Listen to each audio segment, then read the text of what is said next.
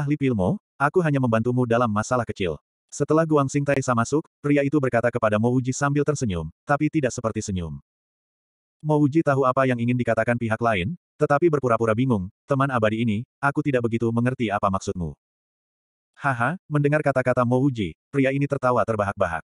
Setelah tertawa, dia berkata, ahli Pilmo, sejak aku, Gaiao, mulai berkultivasi, ini pertama kalinya aku mendengar seorang Dewa Agung Yi memanggilku sebagai teman abadi. Gaiao.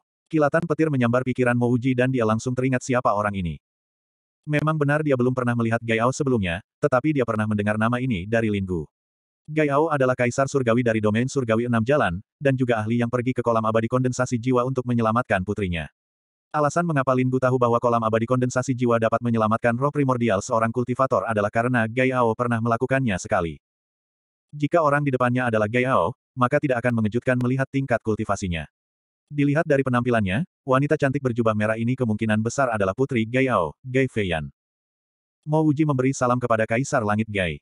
Karena pengalamanku sangat dangkal, aku tidak mengenali Kaisar Langit. Aku mohon ampun kepada Kaisar Langit. Mo Wuji mengepalkan tangannya dan berkata dengan nada meminta maaf. Dia tidak memiliki permusuhan dengan Gaiao, jadi mereka mungkin tidak memiliki persahabatan. Di matanya, orang seperti Gaiao pasti tidak akan berteman dengan seorang Grand Yi Immortal sepertinya.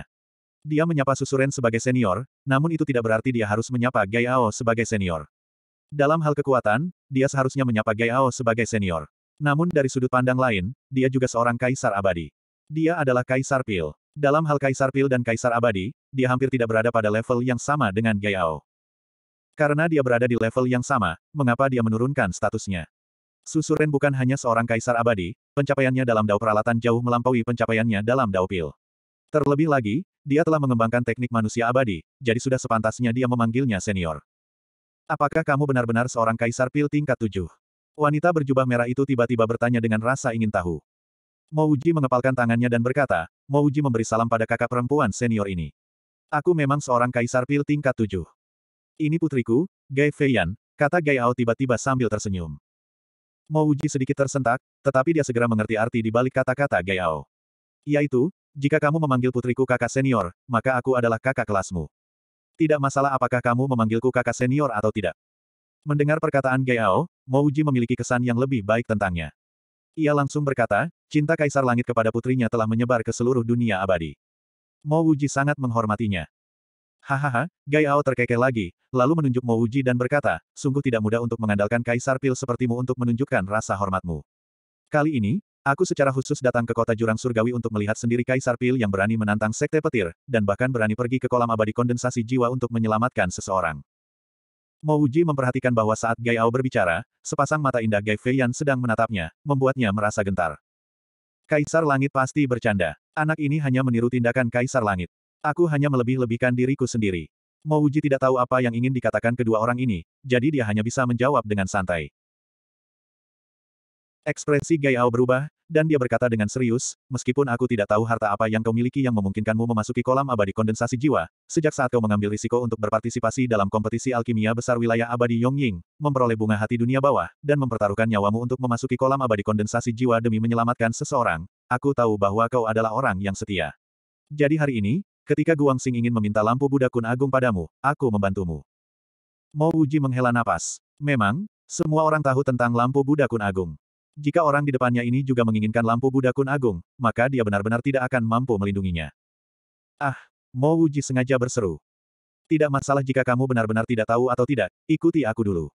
Pokoknya, aku sangat mengagumimu. Gaiao terkekeh, dan memimpin untuk berjalan ke kolam jurang surgawi. Mo Wuji melihat bahwa Gai Feiyan sudah menunggunya masuk terlebih dahulu, jadi dia buru-buru berkata, kakak senior Feiyan, silakan masuk dulu. Aku akan mengikuti di belakang. Wajah Gai Feiyan memerah. Dia bergumam, N, lalu bergegas masuk. Mo Wuji bukanlah orang bodoh dengan EQ rendah. Ketika dia melihat ekspresi Gai Feiyan, dia sedikit tersentak, berpikir bahwa ini tidak benar. Dia dan Gai Feiyan belum pernah bertemu sebelumnya, jadi apakah perlu baginya untuk memiliki ekspresi dan sikap seperti itu?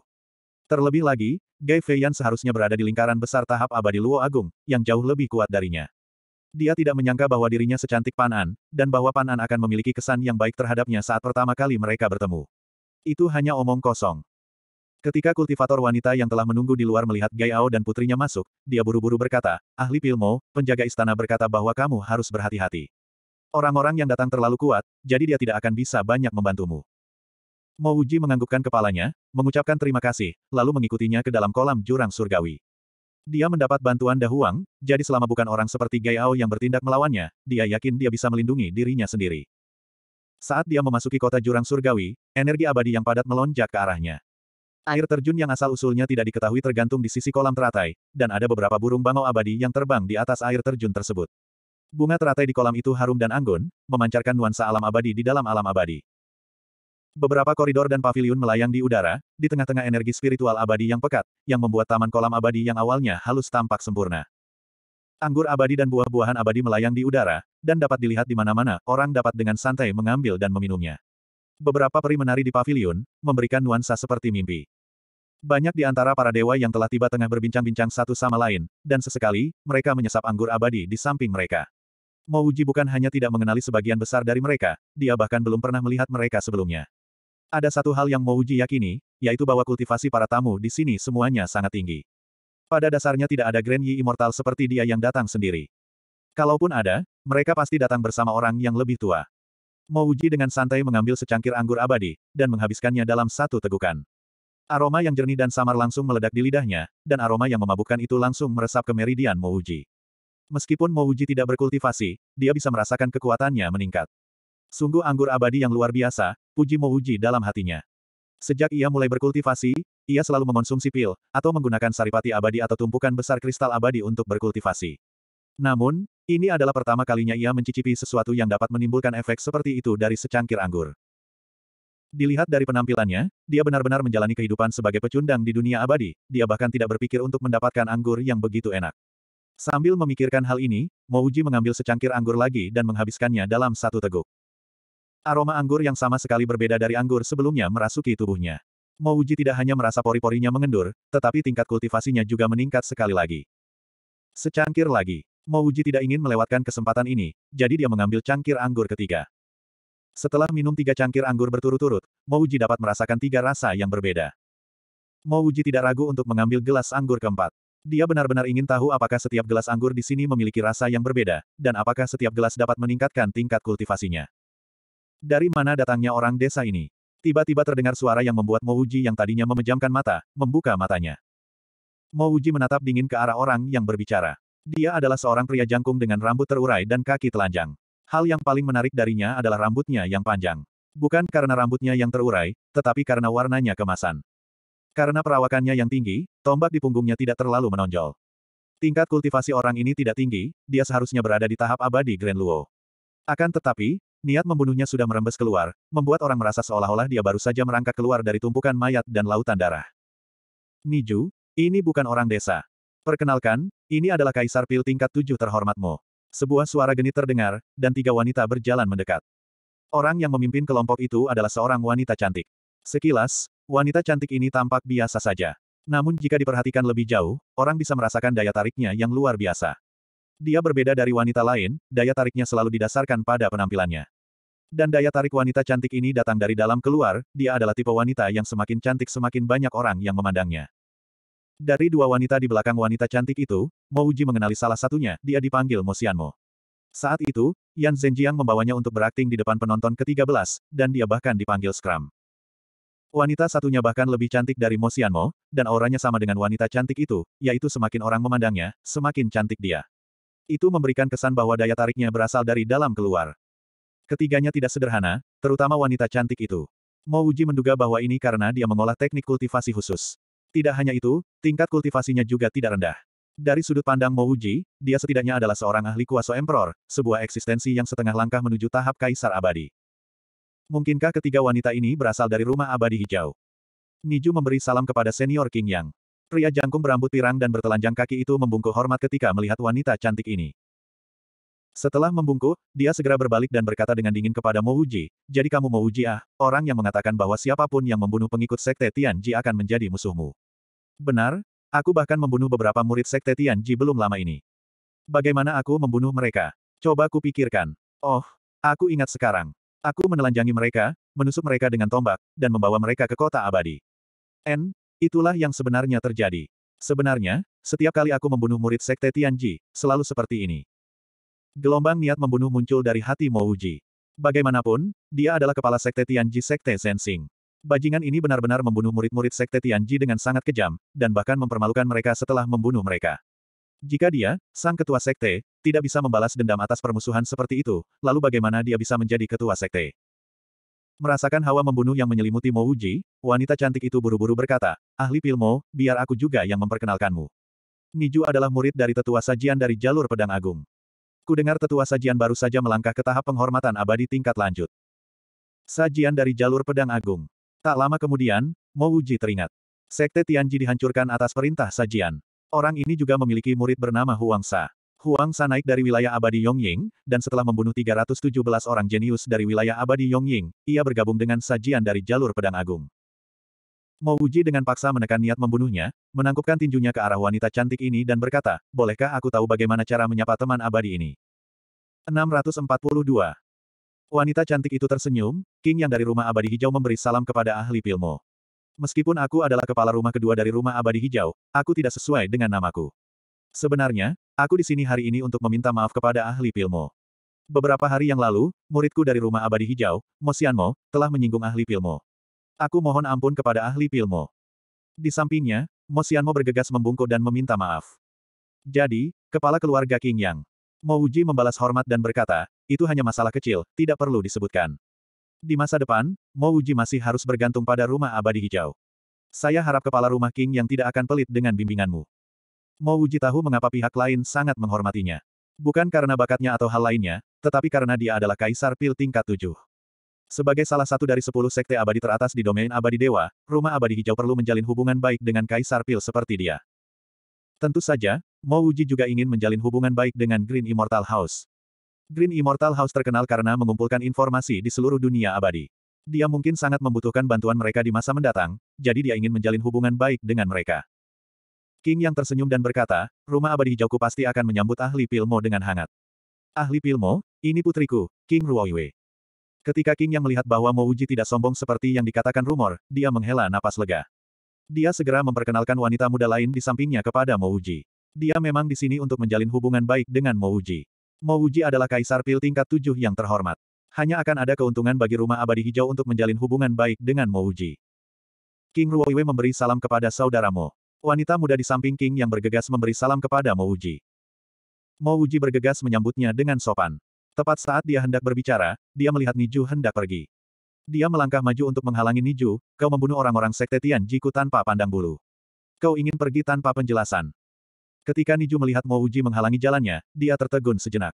Kemudian dia tertawa, aku, Niju, akhirnya melihat apa itu kesombongan. Apakah Kaisar Pil sebegitu mengesankan? Tidak peduli seberapa hebatnya dia, dia masih hidup. Kaisar Pil tingkat tujuh yang mati tidak ada bedanya dengan anjing yang mati.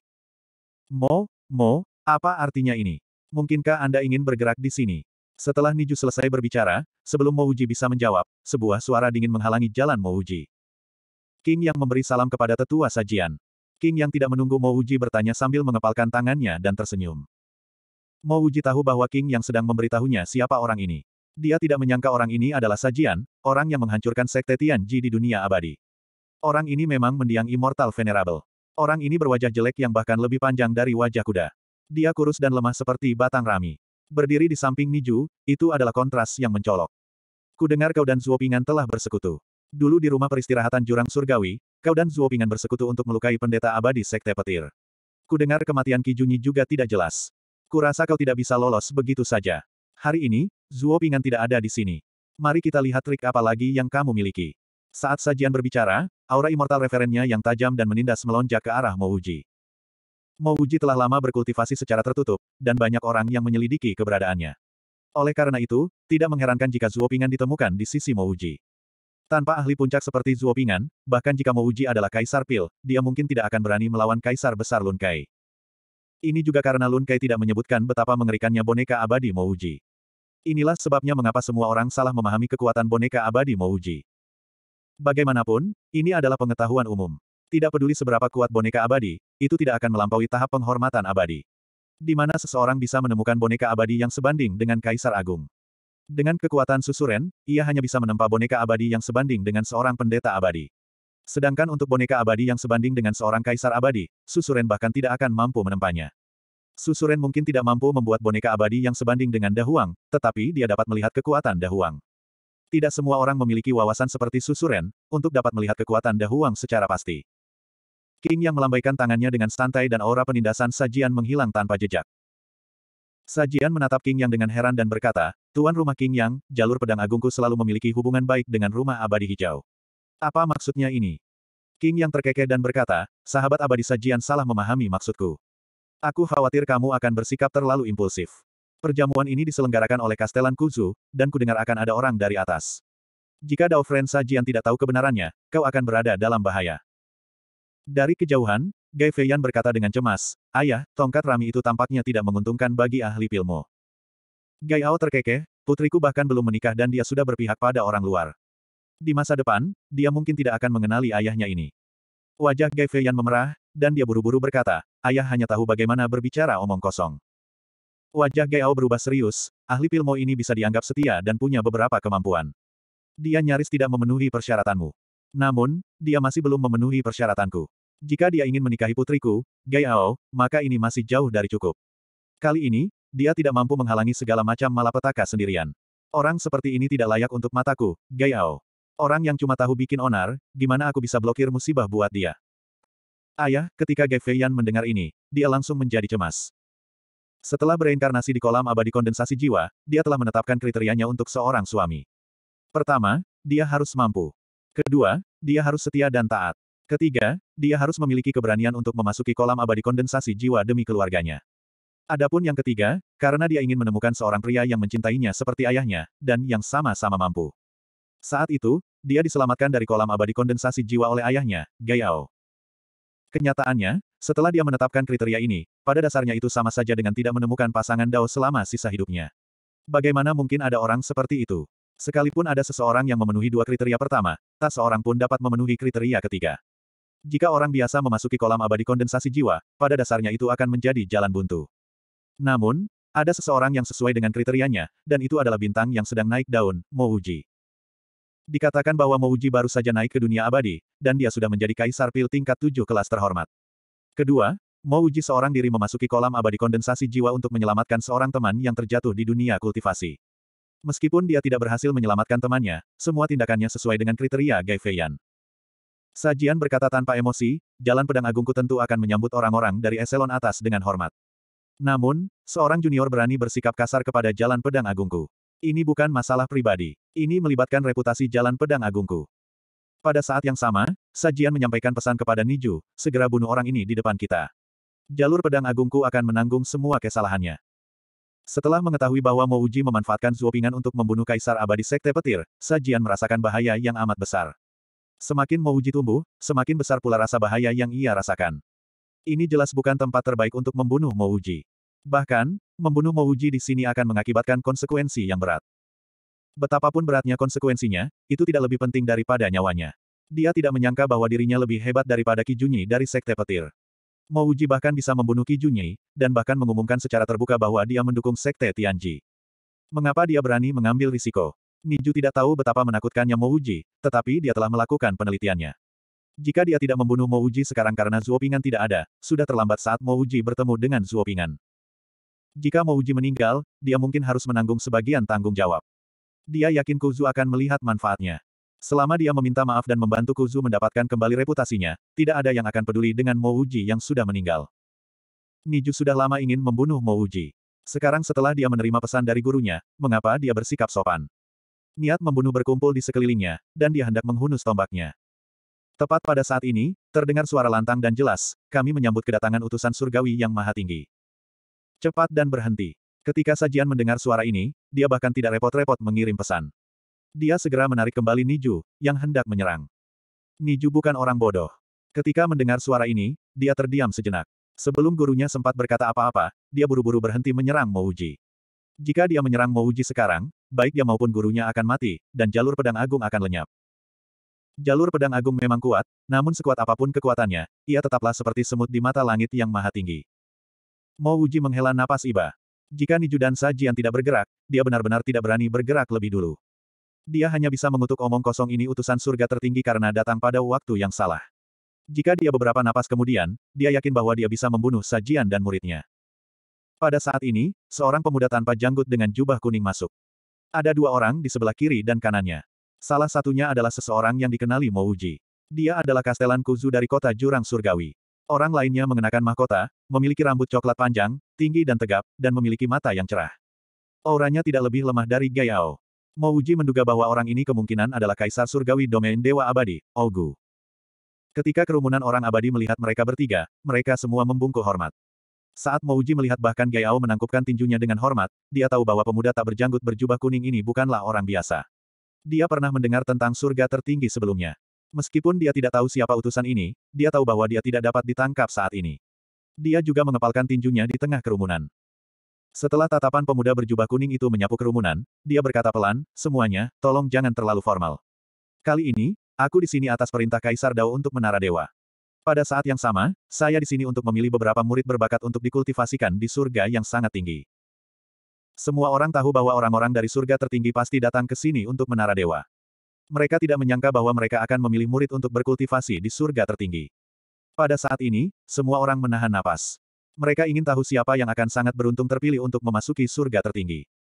Pemuda berjubah kuning itu mengangguk, tampak puas dengan rasa hormat tersebut. Ia berkata dengan keras, semoga murid-murid berikut ini mempersiapkan diri. Saat menara dewa ditutup, ikuti aku ke surga yang sangat tinggi.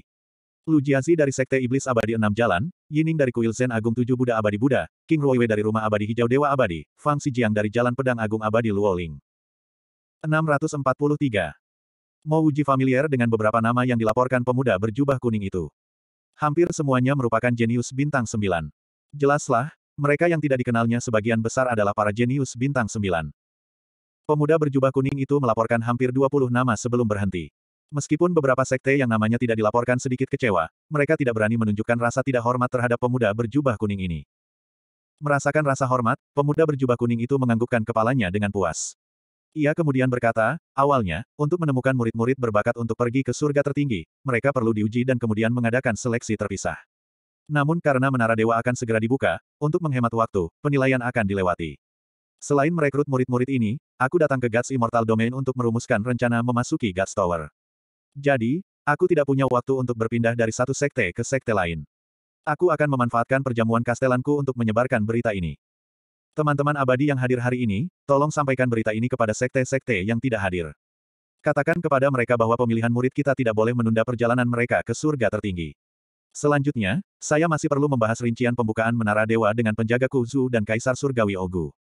Jika saatnya tiba, aku akan meminta penjaga Kuzu untuk mengirimkan hadiah kecil dari langit yang maha tinggi. Ketika pemuda berjubah kuning ini pergi, Mouji menghela napas lega.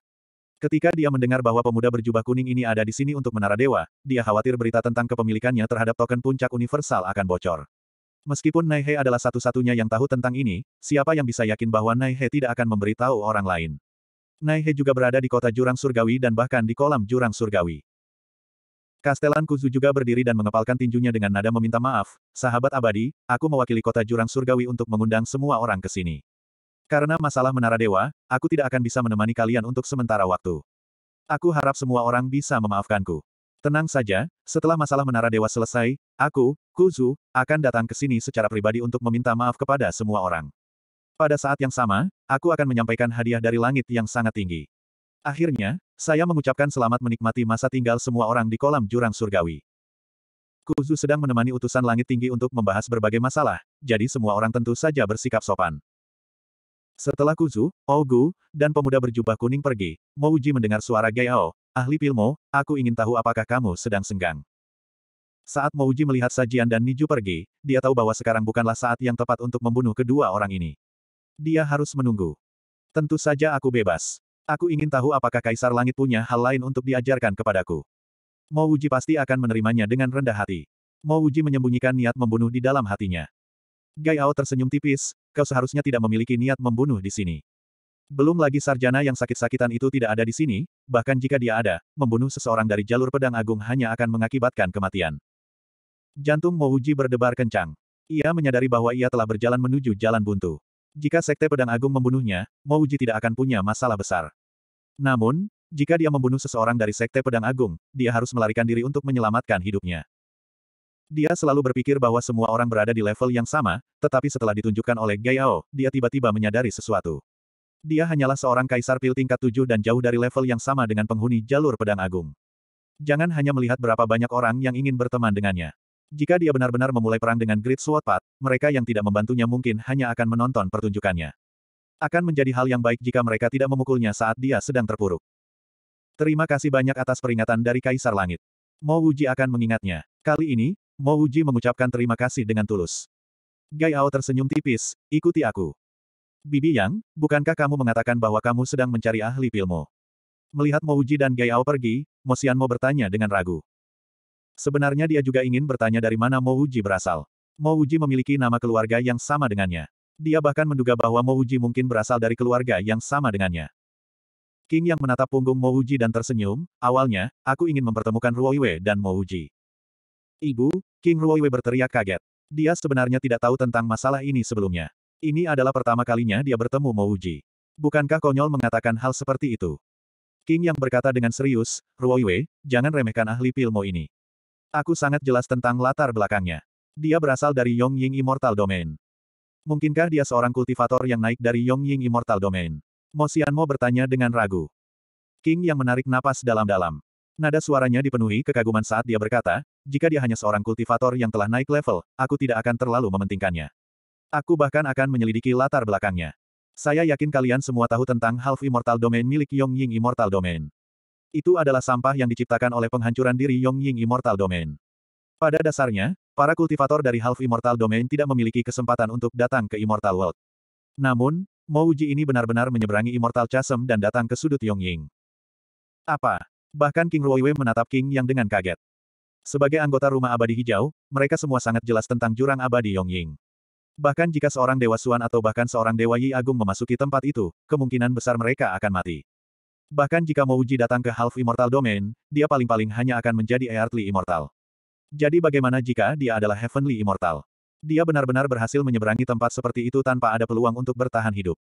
Dia bahkan seorang penyuling pil ah. Biasanya, kekuatan bertarung seorang penyuling pil adalah yang terendah.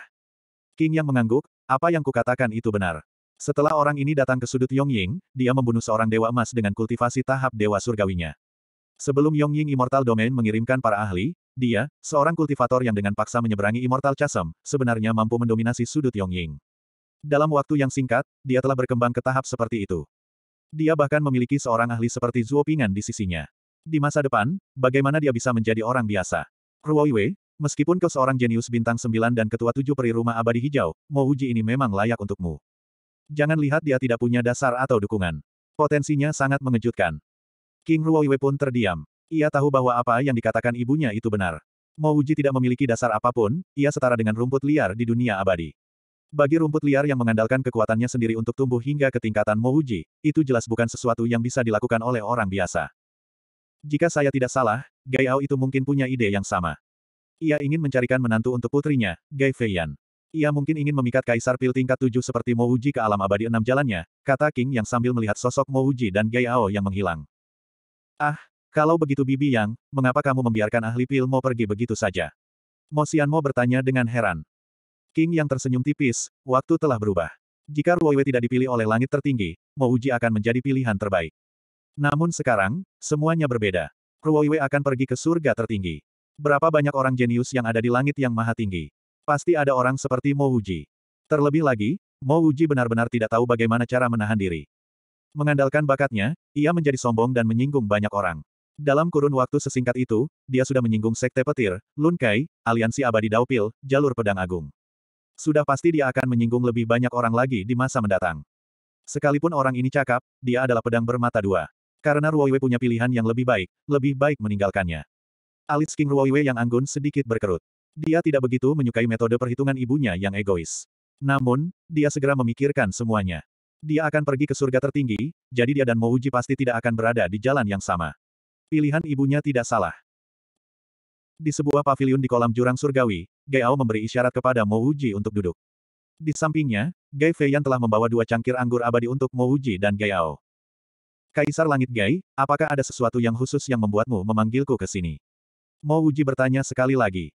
Di hadapan Gai Ao, dia sama sekali tidak percaya diri.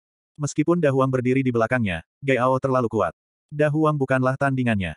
Kau pasti punya beberapa pertanyaan untuk ditanyakan padaku, kan? Kau bisa bertanya padaku terlebih dahulu, Gaiao menyesap anggurnya dan berkata sambil tersenyum. Mo Wuji memang punya banyak pertanyaan. Sekarang setelah Gaiao mengatakan ini, dia tidak akan berdiri di atas upacara. Dia mengepalkan tinjunya dan berkata, Kaisar Surgawi Gai, keberadaan macam apa surga yang sangat tinggi itu? Bahkan Kaisar Surgawi harus menyapa seorang utusan mulia. Mendengar Mo Wuji bertanya tentang langit yang sangat tinggi, raut wajah Gaiao berubah serius. Ia mengangkat tangannya untuk membentuk beberapa segel sebelum berkata perlahan, Wuji, kau pasti dari dunia fana, kan? Dunia fana memiliki seorang kaisar dan rakyatnya. Dalam istilah awam, surga tertinggi adalah tempat kaisar tinggal. Kita semua adalah rakyatnya. Gerbang Surgawi Selatan. Kaisar Giok. Mo Wuji berteriak kaget tanpa sadar. Gai Ao sedikit mengernyit, gerbang Surgawi Selatan yang mana? Kaisar Giok. Mo Wuji buru-buru melambaikan tangannya, anak ini tiba-tiba teringat bahwa di dunia fanaku, ada seorang Kaisar Giok. Pintu masuk ke tempat tinggalnya disebut Gerbang Surgawi Selatan. Gai Ao tidak mempermasalahkannya. Dia mengangguk, kira-kira sama dengan apa yang kau katakan. Kaisar Langit yang sangat tinggi disebut Kaisar Dao. Saya mendengar bahwa kekuatannya telah melampaui tahap Kaisar Agung dan memasuki tingkat yang benar-benar baru. Aku juga dianggap sebagai Kaisar Agung. Setelah bertahun-tahun menjelajahi dunia abadi, aku bahkan belum pernah menyentuh level Kaisar Dao. Bukan hanya aku. Kaisar abadi lainnya di dunia abadi juga sama. Jangan berpikir kita bisa menjelajahi dunia abadi. Kenyataannya, di hadapan Kaisar Dao Zi Changluo, kita bahkan tidak sebanding dengan semut. Mo Wuji menghirup udara dingin. Dia sangat jelas tentang kekuatan seorang kaisar abadi. Kaisar besar Lun Kai dapat menghancurkannya sampai mati hanya dengan satu jari. Dia juga sangat jelas tentang pertempuran antara Zuo Pingan dan Lun Kai. Jika mereka berdua bertarung habis-habisan, satu gerakan saja sudah cukup untuk mengubah beberapa kota abadi yang besar menjadi abu. Di hadapan Kaisar Dao Zi Changluo, cara-cara semacam ini bahkan tidak ada bandingannya dengan semut. Seberapa kuatkah Kaisar Dao Zi Changluo itu? Lalu Kaisar Surgawi dari dunia abadi ditunjuk oleh Kaisar Dao. Mo Wuji bertanya dengan tenang. Gai Ao menghela napas, bukan begitu. Para Kaisar Surgawi dari dunia abadi berjuang untuk posisi mereka berdasarkan kemampuan mereka sendiri. Kaisar Dao tidak peduli dengan hal-hal ini. Namun, begitu seseorang menyentuh level tahap Kaisar Dao, saya khawatir. Rasa dingin menyergap hati Mo Wuji. Ia tiba-tiba teringat pada dunia abadi miliknya. Pada saat ini, dia merasa bahwa dunia abadi adalah dunia saku Kaisar Dao. Mereka ditahan di dunia saku ini oleh Kaisar Dao. 644. Gai Ao jelas tidak tahu apa yang dipikirkan Mo Wuji. Jika dia tahu, dia mungkin tidak akan bisa berkata apa-apa. Memang benar bahwa dunia abadi berada di bawah yurisdiksi langit tertinggi, tetapi itu bukan halaman belakang langit tertinggi. Itu tidak ada hubungannya dengan dimensi saku. Uji, aku merasa tingkat kultivasimu tidak tinggi, tetapi kamu telah menyinggung banyak orang. Gai Ao mengubah topik pembicaraan dan berkata perlahan. Mo Wuji tahu pasti ada sesuatu yang terjadi. Dia menyingkirkan pikiran-pikirannya sebelumnya dan berkata dengan canggung, aku tidak bermaksud menyinggungmu, tetapi tanpa sadar, aku melakukannya. Apakah Lun Kai ingin menyinggung perasaannya? Hanya karena dia agak cakap, dia tidak bisa lepas dari nasib menyinggung Lun Kai. Kecuali dia bisa menjadi cucu, Lun Kai telah membunuh anak buahnya dan dia masih harus bekerja untuk Lun Kai. Jika memang begitu, dia, Mo Wuji, lebih baik mati. Apakah dia ingin menyinggung aliansi abadi Pildao? Akan tetapi, wajah-wajah aliansi abadi Pildao terlalu menjijikkan. Dia merasa bahwa berpura-pura bersikap sopan terhadap orang seperti itu akan mempengaruhi hati daunnya. Adapun jalur pedang agung, ketika ia menjadi kepala sekte Tianji di Zensing, ia sudah ditakdirkan untuk menjadi musuh jalur pedang agung.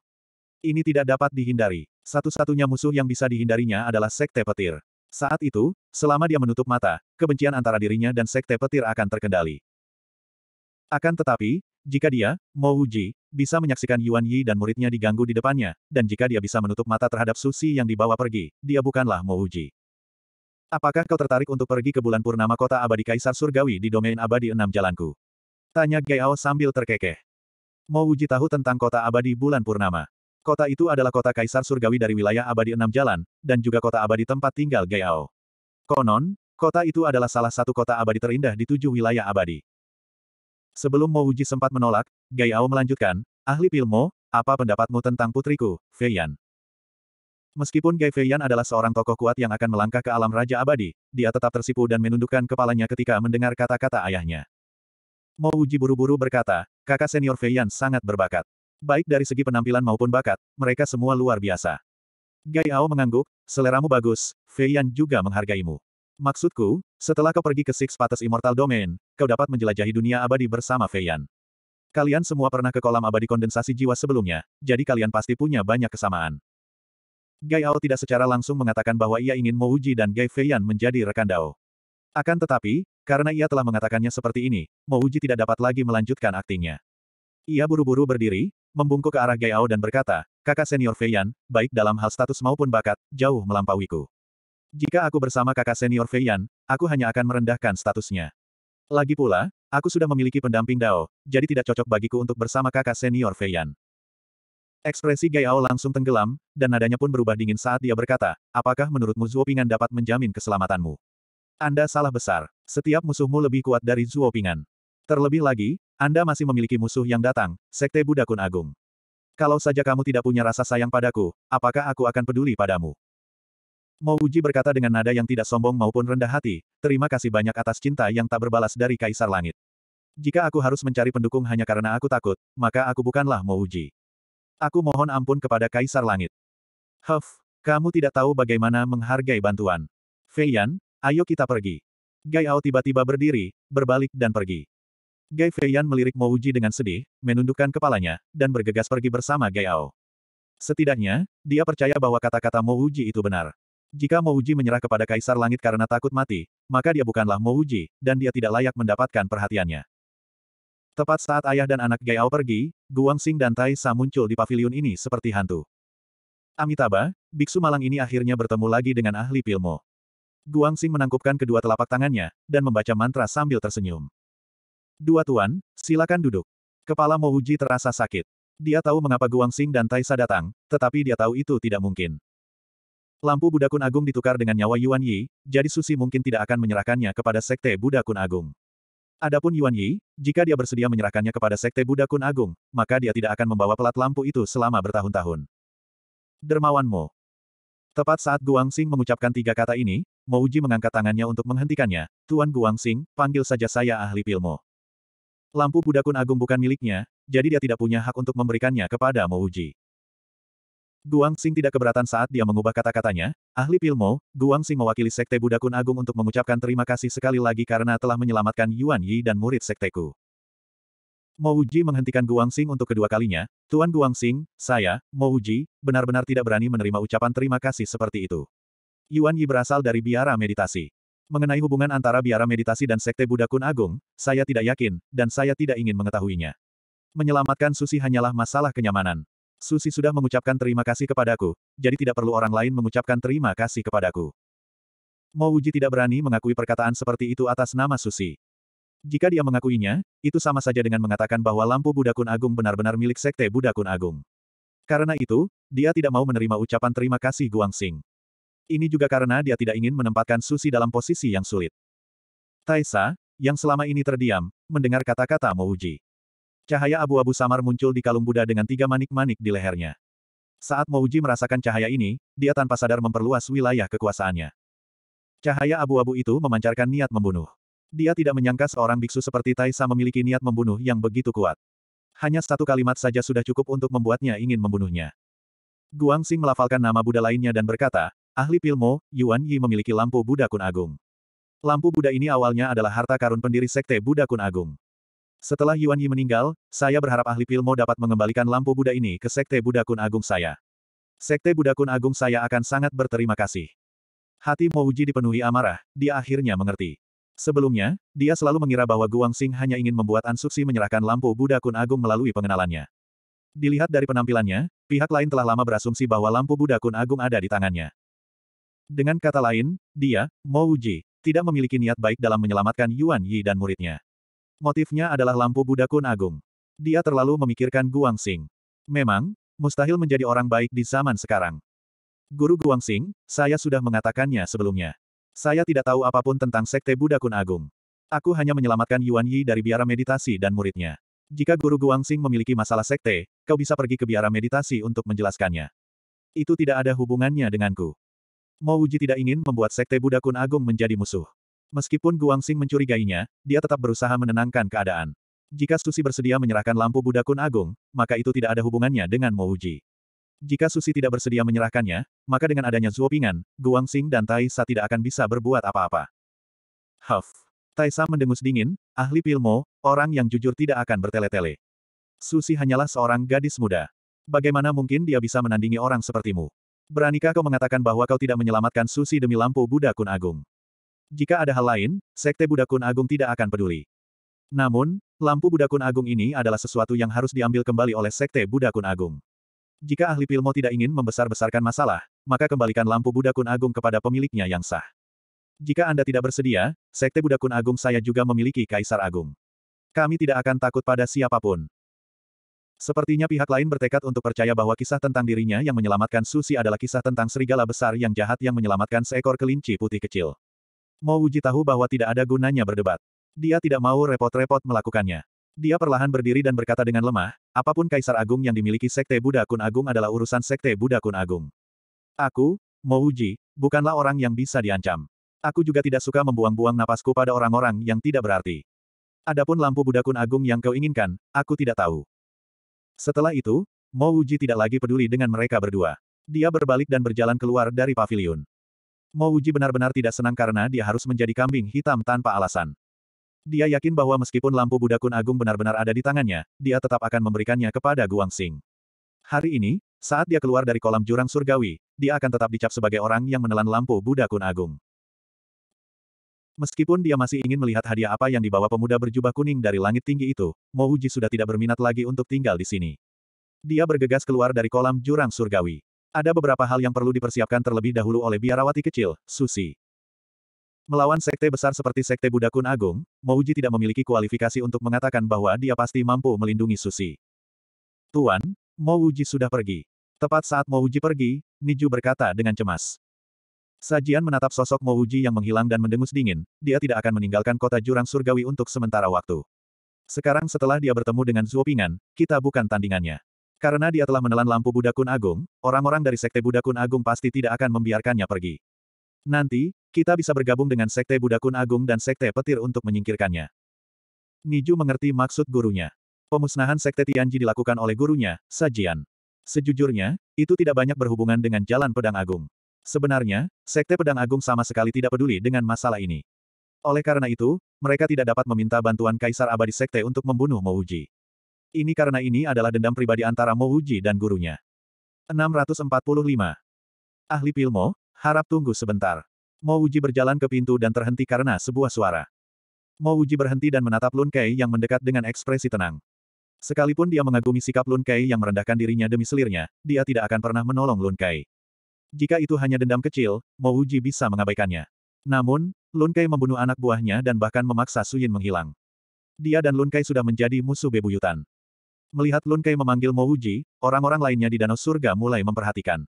Alasan utamanya adalah karena Mo Wuji baru-baru ini menjadi pusat perhatian. Ada desas-desus bahwa bahkan Zuo Pingan adalah pengawal Mo Wuji. Di dunia abadi, bahkan seorang kaisar surgawi tidak akan memiliki kualifikasi untuk mempekerjakan seorang kaisar agung sebagai pengawal. Atau lebih tepatnya, bahkan jika dia bisa mengundang seorang kaisar agung untuk menjadi pengawalnya, dia tidak akan bisa mengundang Zuopingan. Ahli Pilmo, aku tahu situasimu tidak begitu baik. Selama kau membantuku kali ini, aku, Lun Kai, pasti akan berdiri di sisimu. Pada saat yang sama, aku, Lun Kai, tidak akan ragu untuk memenuhi permintaanmu. Lun Kai berjalan di depan Mo Wuji dan mengambil inisiatif untuk mengepalkan tinjunya. Kembali di rumah peristirahatan jurang surgawi, Kemarahannya terhadap Mo Wuji telah mencapai puncaknya, sampai pada titik di mana dia tidak sabar untuk bertarung habis-habisan dengan Mo Wuji. Ketika Mo Wuji menyuruhnya nyahlah, dia memperlakukan Mo Wuji seperti salah satu orang yang harus dibunuhnya.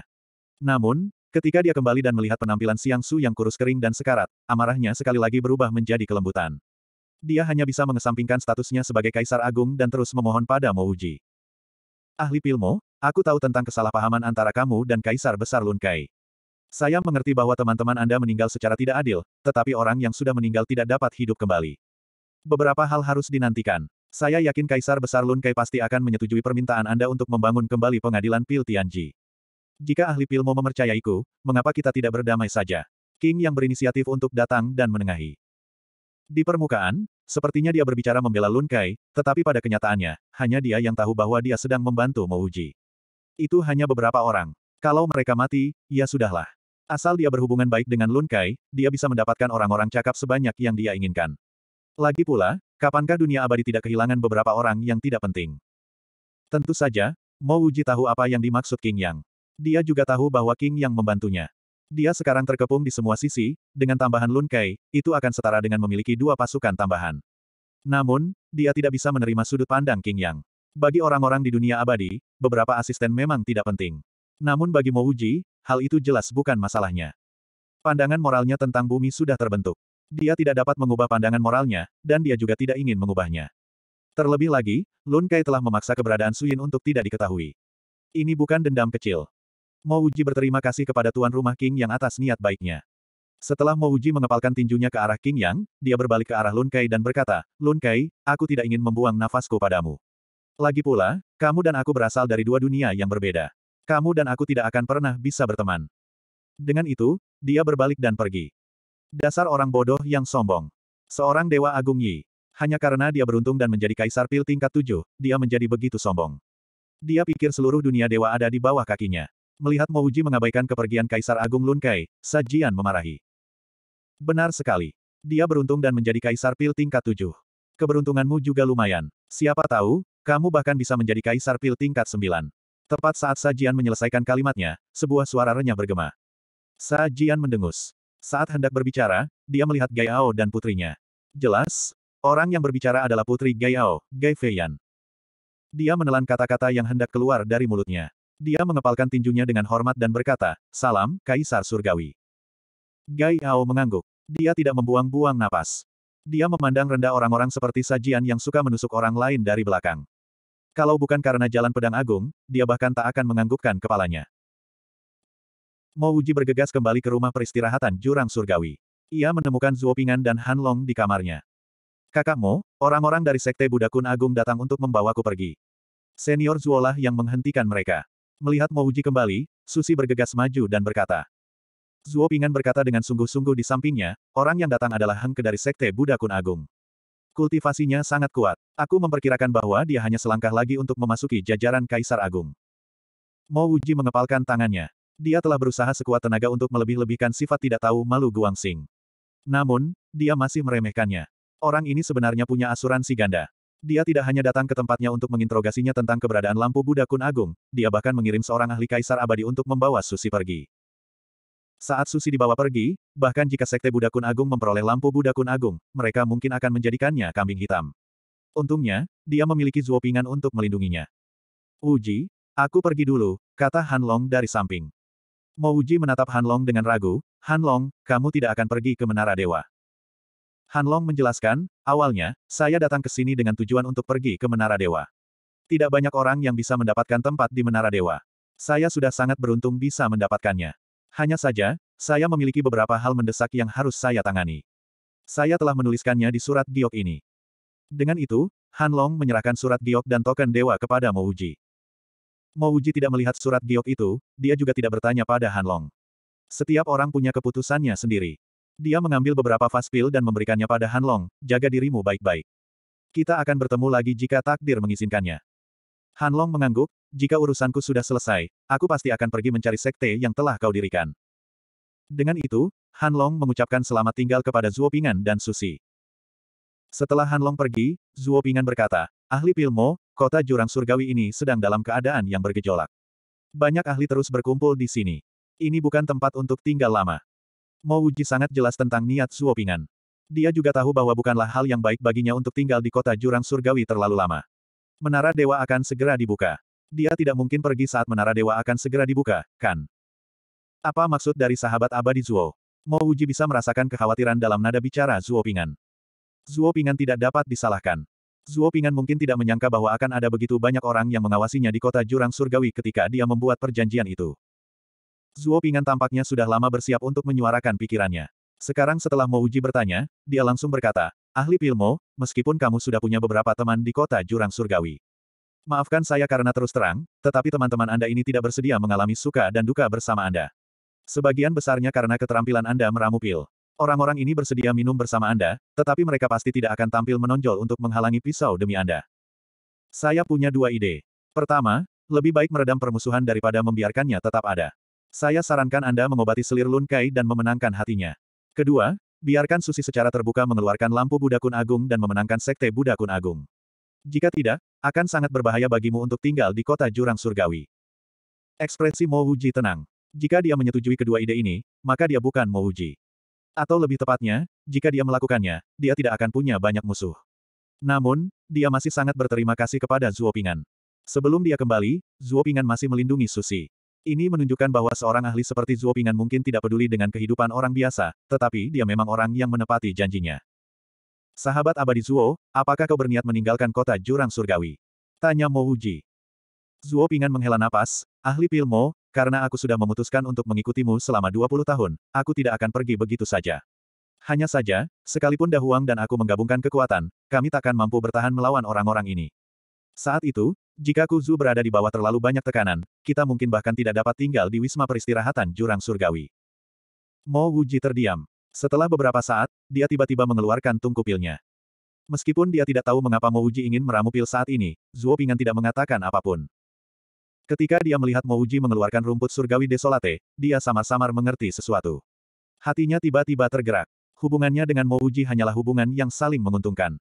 Alasan mengapa dia melindungi Mouji juga karena dia ingin Mouji meramu pil untuknya. Setelah berinteraksi dengan Mouji selama kurun waktu ini, dia secara garis besar memahami orang macam apa Mouji itu. Memang, Mouji adalah orang yang setia dan benar. Namun, dia juga kurang tegas dan terlalu lemah. Dengan kata lain, dia seharusnya tidak peduli dengan masalah Susi dan Yuan Yi. Terlebih lagi, karena karakter Mouji pula lah dia percaya bahwa Mouji akan mampu meramu pil sekilas tujuh rune yang asli untuknya 20 tahun kemudian. Akan tetapi, karena karakter Mouji pula lah ia percaya Mouji akan mampu meramu pil sekilas tujuh rune yang asli 20 tahun kemudian. Bahkan Zuo Pingan pun tak kuasa untuk tidak mengagumi Mouji. Melihat Mouji meramu pil bagaikan melihat sebuah karya seni. Itu adalah sebuah bentuk kenikmatan. Bahkan Zuo Pingan pun tak kuasa menahan diri untuk mengagumi Mouji. Melihat Mouji meramu pil bagaikan melihat sebuah karya seni, sungguh menyenangkan. Semangat spiritual Zuo Pingan sangat kuat. Ketika dia melihat Mouji meramu pil, dia tiba-tiba melangkah maju. Semangat spiritual Zuo Pingan sangat kuat. Ketika dia melihat enam pil abadi yang dibawa Mouji, dia tiba-tiba melangkah maju. Pada saat ini, bahkan tangannya gemetar. Jika dia tidak salah lihat, dia yakin pil yang dibuat Mouji kali ini memiliki tujuh rune. Pil Seven Runes Glimpsing. Sudah berapa tahun dia, Zuo Pingan, mendambakannya. Pada saat ini, dia dengan paksa menahan keinginannya untuk bertanya. Sebaliknya, dia menatap Mouji dengan penuh hasrat di matanya. Mouji diam-diam menyimpan tungku pil dan menyerahkan vas giok di tangannya kepada Zuo Pingan, sahabat abadi Zuo, aku mendapat beberapa keuntungan dari kultivasi tertutupku. Sekarang, akhirnya aku bisa meramu pil tujuh rune yang asli. Sahabat abadi Zuo, silakan lihat. Zuo Pingan membuka vas giok itu dengan tangan gemetar. Memang, ada enam pil tujuh rune di dalamnya. Terima kasih, terima kasih, Terima kasih, pada saat ini, Zuo Pingan telah sepenuhnya melupakan sikap acuh tak acuh, kesombongan, dan kewibawaan seorang kaisar agung. Di matanya, yang ada hanyalah vas berisi pil tujuh rune. Awalnya, 20 tahun hanyalah sekejap mata bagi Zuo Pingan. Sekarang, bahkan belum setahun berlalu dan dia telah memperoleh pil tujuh rune yang asli. Mo Wuji mengepalkan tangannya dan berkata, Teman Dao Zuo, inilah yang aku janjikan padamu. Aku telah memberikan pil tujuh rune ini kepada Dao Friend Zuo sebelumnya. Aku juga punya sesuatu untuk ditanyakan kepadamu. 646. Zuo Pingan menyimpan vas giok itu dengan hati-hati, mengangkat kepalanya untuk melihat ke langit-langit, menarik napas dalam-dalam, lalu menangkupkan tinjunya ke arah Mo Wuji dan berkata dengan hormat, Ahli Pilmo, Dao Pil dan karaktermu adalah yang terbaik yang pernah ku, Zuo Pingan, lihat. Saya, Zuo Pingan, adalah orang yang jujur, saya tidak akan menyombongkan diri. Hari ini, saya, Zuo Pingan, ingin mengatakan sesuatu, apa pun yang Anda butuhkan dari saya, saya akan melakukannya. Mo Wuji tersenyum tipis, aku hanya punya satu permintaan, sahabat abadi Zuo, tolong bawa Susi pergi sampai dia punya kemampuan untuk melindungi dirinya sendiri. Zuo Pingan terkekeh, masalah sekecil itu tidak layak disebut. Aku, Zuo Pingan, menjamin tidak akan terjadi apa-apa padanya. Bahkan lampu Budakun Agung pun tidak akan ada yang bisa mengambilnya darinya. Pada saat yang sama, aku, Zuo Pingan, akan melindungimu selama setahun. Tidak peduli seberapa kuat lawannya, setidaknya aku dapat menjamin bahwa kamu akan memasuki menara dewa dengan selamat. Mo Wuji tertawa, terima kasih, sahabat Dao Zuo, seperti yang kau katakan, aku tidak berniat tinggal di kota jurang surgawi. Mo Wuji tidak melakukan ini karena dorongan hati, dia tidak ingin menyakiti orang lain dan dirinya sendiri. Saat para ahli dari Sekte Petir dan Jalur Pedang Agung datang, ditambah bantuan Lun Kai, dia pasti hancur. Membiarkan Zuo Pingan dan Susi tinggal di sini akan merugikan orang lain dan dirinya sendiri. Zuo Pingan tidak menyangka Mo Wuji akan meninggalkan kota jurang surgawi. Jika dia melakukannya, dia, Zuo Pingan, masih memiliki kemampuan untuk melindungi Mo Wuji. Dia setuju dengan Mo Wuji, ini adalah saat yang paling tepat untuk meninggalkan kota jurang surgawi. Akan tetapi, sebelum Zuo Pingan sempat berbicara, Susi sudah lebih dulu berkata, Kakak Mo, aku tidak akan pergi bersama senior Zuo, aku akan pergi bersamamu. Mouji menatap Susi dengan ragu, Susi, aku hanyalah seorang Dewa Yi Agung, aku tidak akan mampu membantumu melindungi lampu Buddha Kun Agung. Saat kita terjebak, aku tidak akan bisa membantumu melarikan diri. Jika kau pergi bersamaku, kemungkinan besar kau akan mati. Susi berkata dengan tegas, Kakak Mo, sebelum guruku pergi, dia menyuruhku pergi bersamamu. Tuanmu menyuruhmu mendengarkan aku, dan jangan pergi bersamaku, kata Mo Uji tanpa berkata apa-apa. Susi hanya menggelengkan kepalanya, ekspresinya sangat tegas. Ketika Zuo Pingan melihat ini, dia berkata, Ahli Pilmo, karena kamu akan meninggalkan kota jurang surgawi, tidak ada salahnya jika Susi mengikutimu. Dunia abadi begitu luas. Bahkan jika dia dihentikan oleh satu atau dua orang, dengan dahuang di sekitar, aku yakin dia tidak akan sebanding denganmu. Tidak mungkin seperti situasi di kota jurang surgawi, tempat begitu banyak kekuatan berkumpul bersama. Mouji hanya bisa berkata jujur, aku tidak berniat meninggalkan tempat ini. Aku berniat pergi ke jurang surgawi dewa. Dulu, saat dia masih menjadi dewa bumi, Mouji telah menyeberangi jurang abadi antara domain setengah abadi dan sudut Yongying. Sekarang setelah dia menjadi seorang Dewa Agung Yi, dia jauh lebih kuat dibandingkan saat dia menjadi Dewa Bumi. Terlebih lagi, dia tidak berniat menyeberangi jurang surgawi Dewa. Dia hanya ingin berkultivasi untuk sementara waktu sambil menunggu pembukaan Menara Dewa. Ini seharusnya tidak menjadi masalah, bukan? Kau ingin tinggal di jurang surgawi Dewa dan menunggu dibukanya Menara Dewa. Zuo Pingan langsung tahu apa yang dipikirkan Mo Uji saat dia bertanya dengan kaget. Mo Uji mengangguk, benar sekali, itulah yang kupikirkan. Tidak, dengan kekuatanmu, peluangmu untuk bertahan hidup setelah memasuki parit surga tidaklah tinggi. Ada terlalu banyak makhluk kuat di jurang surga, dan makhluk kuat ini tidak takut dengan robekan spasial. Kecuali jika fisikmu telah mencapai tahap fisik abadi, tetapi sekarang kau hanya seorang dewa Yi Agung. Kau masih jauh dari fisik abadi. Kata Zuo Pingan dengan tidak sopan. Aku sudah memutuskan, kata Mo Uji dengan tegas. Karena dia sudah memutuskan, dia harus mencobanya. Menyadari Mo Uji tengah menatapnya, Susi berkata dengan tenang, hidupku pernah dijemput sekali. Guruku pernah menjemputku sekali, dan saudaramu pernah menjemputku sekali. Mengikuti saudaramu ke jurang surgawi hanyalah mengikuti perintah. Saat mengatakan ini, Susi membungkuk ke arah Zuo Pingan dan Mo Uji sebelum berkata, Senior Zuo, saudara Mo, mohon setujui permintaanku. Guru saya berkata kepada saya bahwa baik itu kultivasi abadi, kultivasi Buddha, atau kultivasi setan, hal terpenting yang harus dikultivasikan adalah hati. Jika saya bahkan tidak bisa menyetujui hal-hal yang ingin saya lakukan, mengapa saya harus berkultivasi? Baiklah, Zuo Pingan mengangguk setuju. Kalimat ini mudah diucapkan, tetapi sulit dilakukan. Melihat Susi bertekad untuk mengikutinya keluar, Mouji hanya bisa berkata, kalau begitu, kau harus ikut denganku. Jika kau mengikutiku, hidup dan matimu akan ditentukan oleh takdir. Iya, saudara Mo, Susi tidak lagi naif seperti saat Mouji pertama kali bertemu dengannya. Apakah kita akan berangkat sekarang? Tanya Zuo Pingan. Mouji menggelengkan kepalanya, tidak, kita akan berangkat besok. Sebelum kita pergi, aku masih ingin membunuh dua orang. Malam berlalu dengan sangat cepat. Keesokan paginya, Mo Uji membawa Susi dan Dahuang keluar dari kota jurang surgawi. Namun, Zuo Pingan tidak ada di sisinya. Meskipun kota jurang surgawi sedang ramai dengan orang-orang, Mo Uji akan segera menarik perhatian begitu dia keluar dari kota jurang surgawi. Meskipun dia membenci tindakan Sekte Buddha Kun Agung, Mo Uji tetap tidak ingin terlibat konflik langsung dengan mereka. Orang-orang yang ingin dibunuhnya adalah sajian dari jalur pedang agung dan murid sajian, Niju. Kota jurang surgawi tidak jauh dari jurang surgawi dewa. Dengan menggunakan harta karun terbang, perjalanan akan memakan waktu kurang dari setengah hari. Mouji baru saja mengeluarkan pesawat ulang-aliknya, dan dalam waktu kurang dari dua jam, sebuah harta karun terbang berwarna kuning terbang di atasnya. Ada tiga orang berdiri di atas harta karun terbang itu, dan Mouji mengenali dua di antaranya, Guang Xing dan Taisa. Mouji tidak mengenali orang ketiga itu, tetapi berdasarkan deskripsi Zuo Pingan, Mouji menebak bahwa orang itu adalah ahli kaisar abadi dari Sekte Kun Agung, Hengke. Mouji benar-benar tidak berdaya, dia benar-benar tidak ingin melihat orang-orang ini. Ahli Pilmo, mohon tunggu. Sebelum kapal terbang kuning itu tiba di depan Mouji, Guang Xing berteriak dengan cemas. Kali ini, dia bahkan tidak mau repot-repot mengucapkan mantra. Dari kelihatannya, dia tidak akan bisa membunuh sajian. Mouji hanya bisa berhenti. Begitu sajian tahu seberapa kuat Dahuang, dia pasti tidak akan menyerang lagi. Haha, suara tawa keras terdengar lagi. Setelah itu, seorang sarjana yang tampak sakit-sakitan mendarat di depan kapal terbang kuning. Sahabat abadi Hengke, kita bertemu lagi. Saya hanya berniat pergi ke Sekte Buddha Kun Agung milikmu untuk berbincang-bincang, tapi saya tidak menyangka akan bertemu denganmu secepat ini. Melihat Zuo Pingan yang bersembunyi dalam kegelapan keluar untuk menghentikan orang-orang Sekte Buddha Kun Agung, Mo Wuji sangat gembira. Saat memikirkan hal ini, pesawat ulang-alik Mouji berbelok dan melaju kencang ke depan. Satu jam lagi berlalu dan tepat saat mereka hendak mencapai jurang surgawi dewa, sebuah mobil terbang berwarna perak muncul di hadapan Mouji dengan kecepatan yang amat tinggi, menghalangi jalan Mouji. Ahli Pilmo, kita bertemu lagi. Sambil berbicara, Sajian dan Niju sudah melangkah keluar dari mobil terbang, menyerbu ke arah pesawat ulang-alik terbang Mouji. Susi, tunggu aku di pesawat ulang-alik.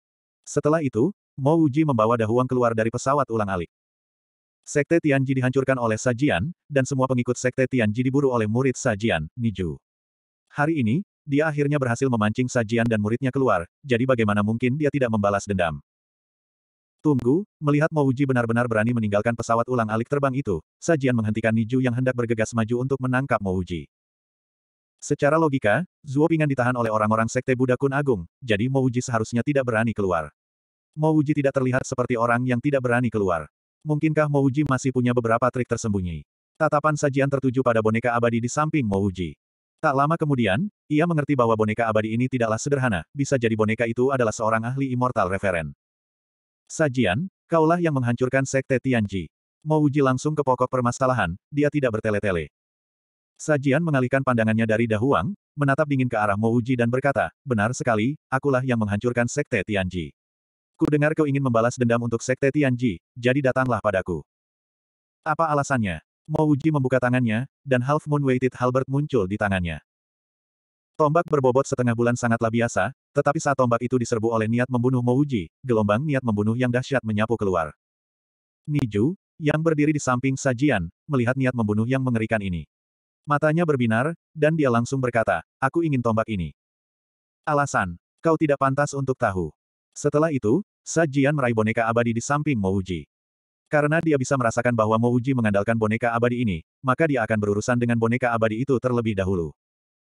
Lakukan, Dahuang. Setelah Mouji berteriak, Half Moon Weighted Halberd di tangannya menebaskan sungai perak ke arah Niju. Mouji tahu bahwa Niju adalah seorang Dewa Luo Agung, dan bukan Dewa Luo Agung biasa. Kekuatan Mouji sangat dekat dengan tahap Dewa Yi Agung tingkat menengah, tetapi dia belum mencapai tahap itu. Dibandingkan dengan Grand Luo Immortal, dia masih beberapa tingkat jauhnya.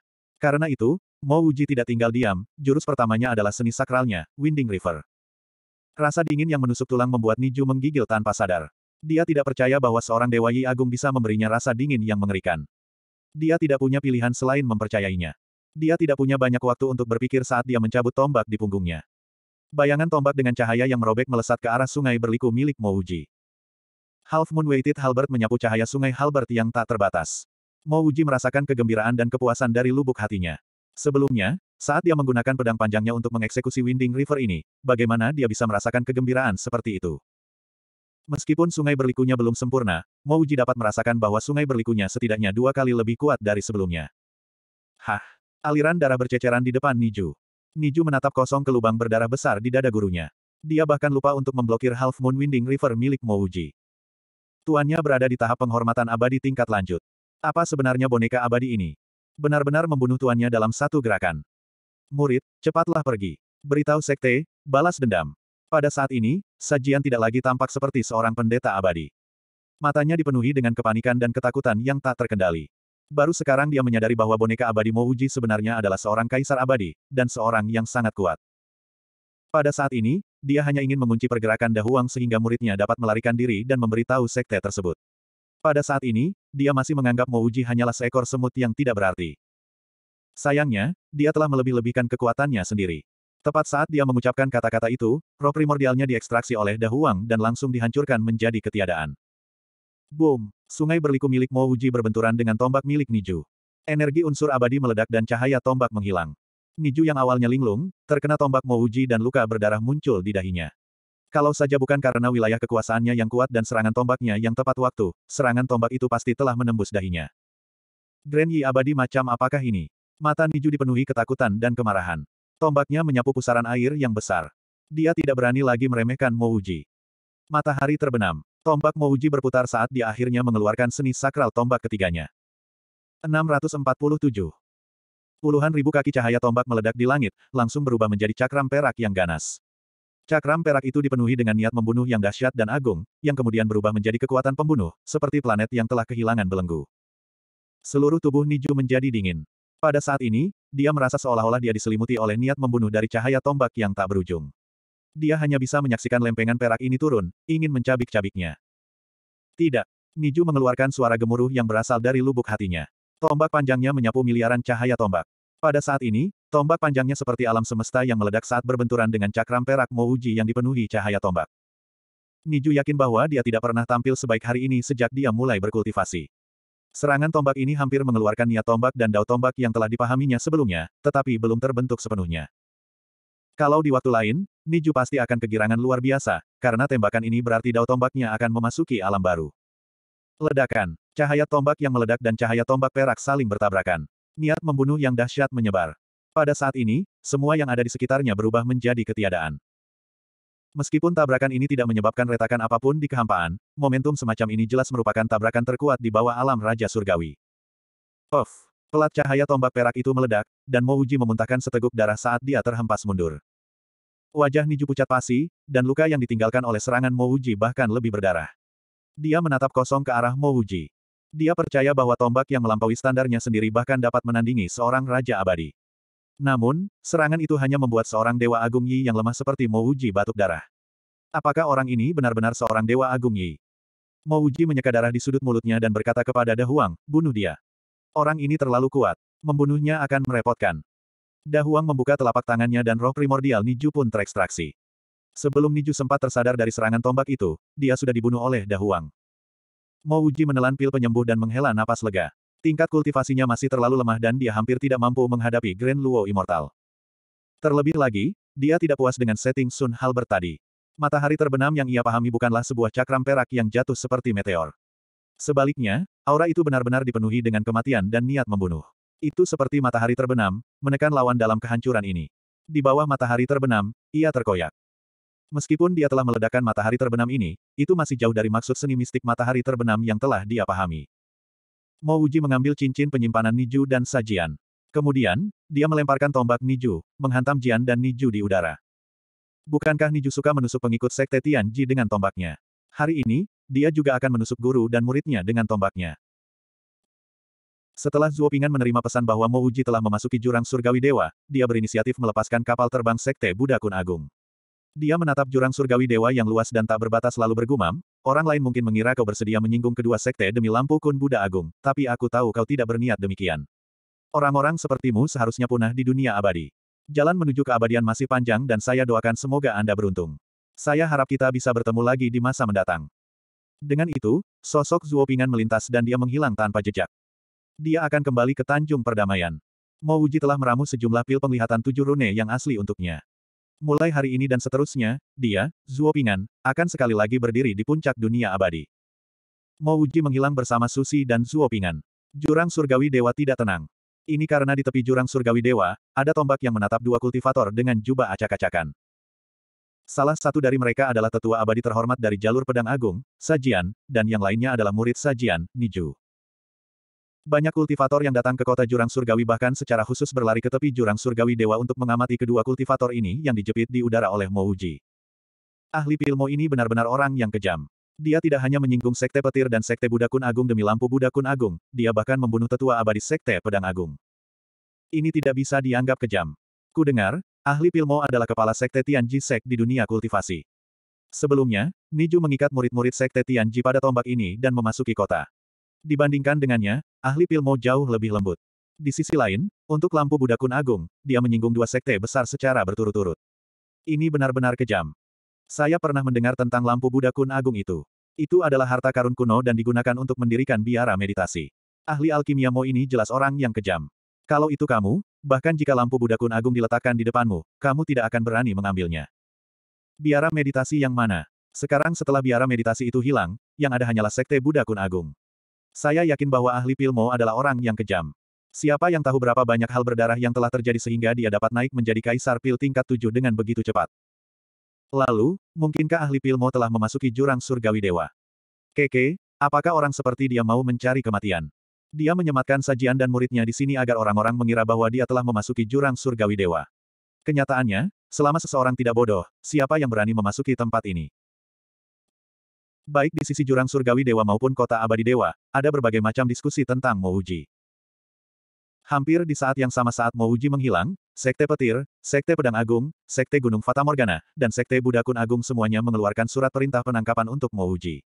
Mereka yang mengetahui cerita di dalam bahkan lebih jelas bahwa masih banyak kekuatan yang tidak mengeluarkan surat perintah penangkapan Mouji. Misalnya, Lun Kei dari Istana Kaisar Tanpa Batas, Aliansi Abadi Daupil. Orang ini benar-benar tahu bagaimana cara menimbulkan masalah.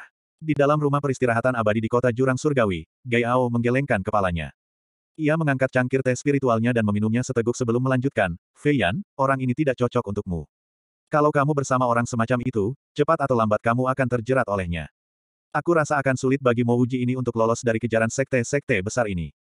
Cepat atau lambat, bahkan tulang-tulangnya pun tidak akan tersisa. Setelah mengatakan itu, Gai Ao menghela nafas.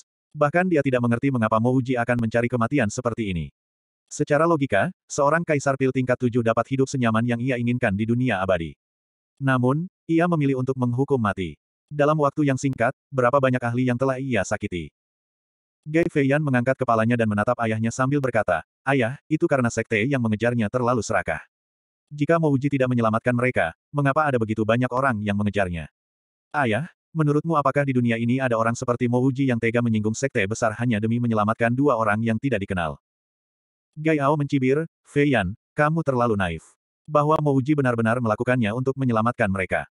Dia hanya melakukannya demi lampu Buddha Kun Agung. Lampu Buddha Kun Agung memang bagus, tetapi itu adalah peralatan Buddha yang sakral. Bahkan aku tidak akan berani merebutnya begitu saja, apalagi Mouji. Tidak, Gai Feiyan menggelengkan kepalanya dengan kuat, menurutku dia bukan orang seperti itu. Dia tidak melakukannya demi lampu Buddha Kun Agung. Dia benar-benar ingin membantu biarawati kecil dari biara meditasi itu.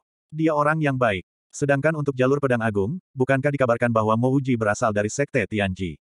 Sajian dari jalur pedang agung telah menghancurkan Sekte Tianji, jadi apa salahnya dia membalas dendam? Adapun Lun Kai, orang ini membunuh orang-orang di sekitar Mo Wuji.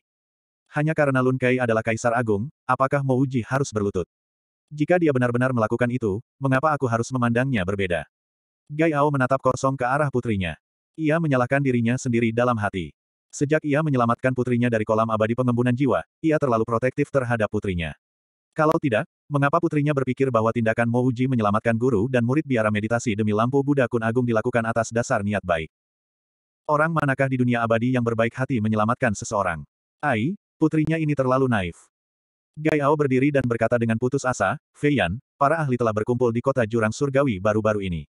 Biarkan aku membawamu ke tempat-tempat yang ramai itu untuk memperluas wawasanmu. Kamu kurang pengalaman. Ini salahku. Aku seharusnya tidak mengizinkanmu tinggal di Istana Kaisar Surgawi.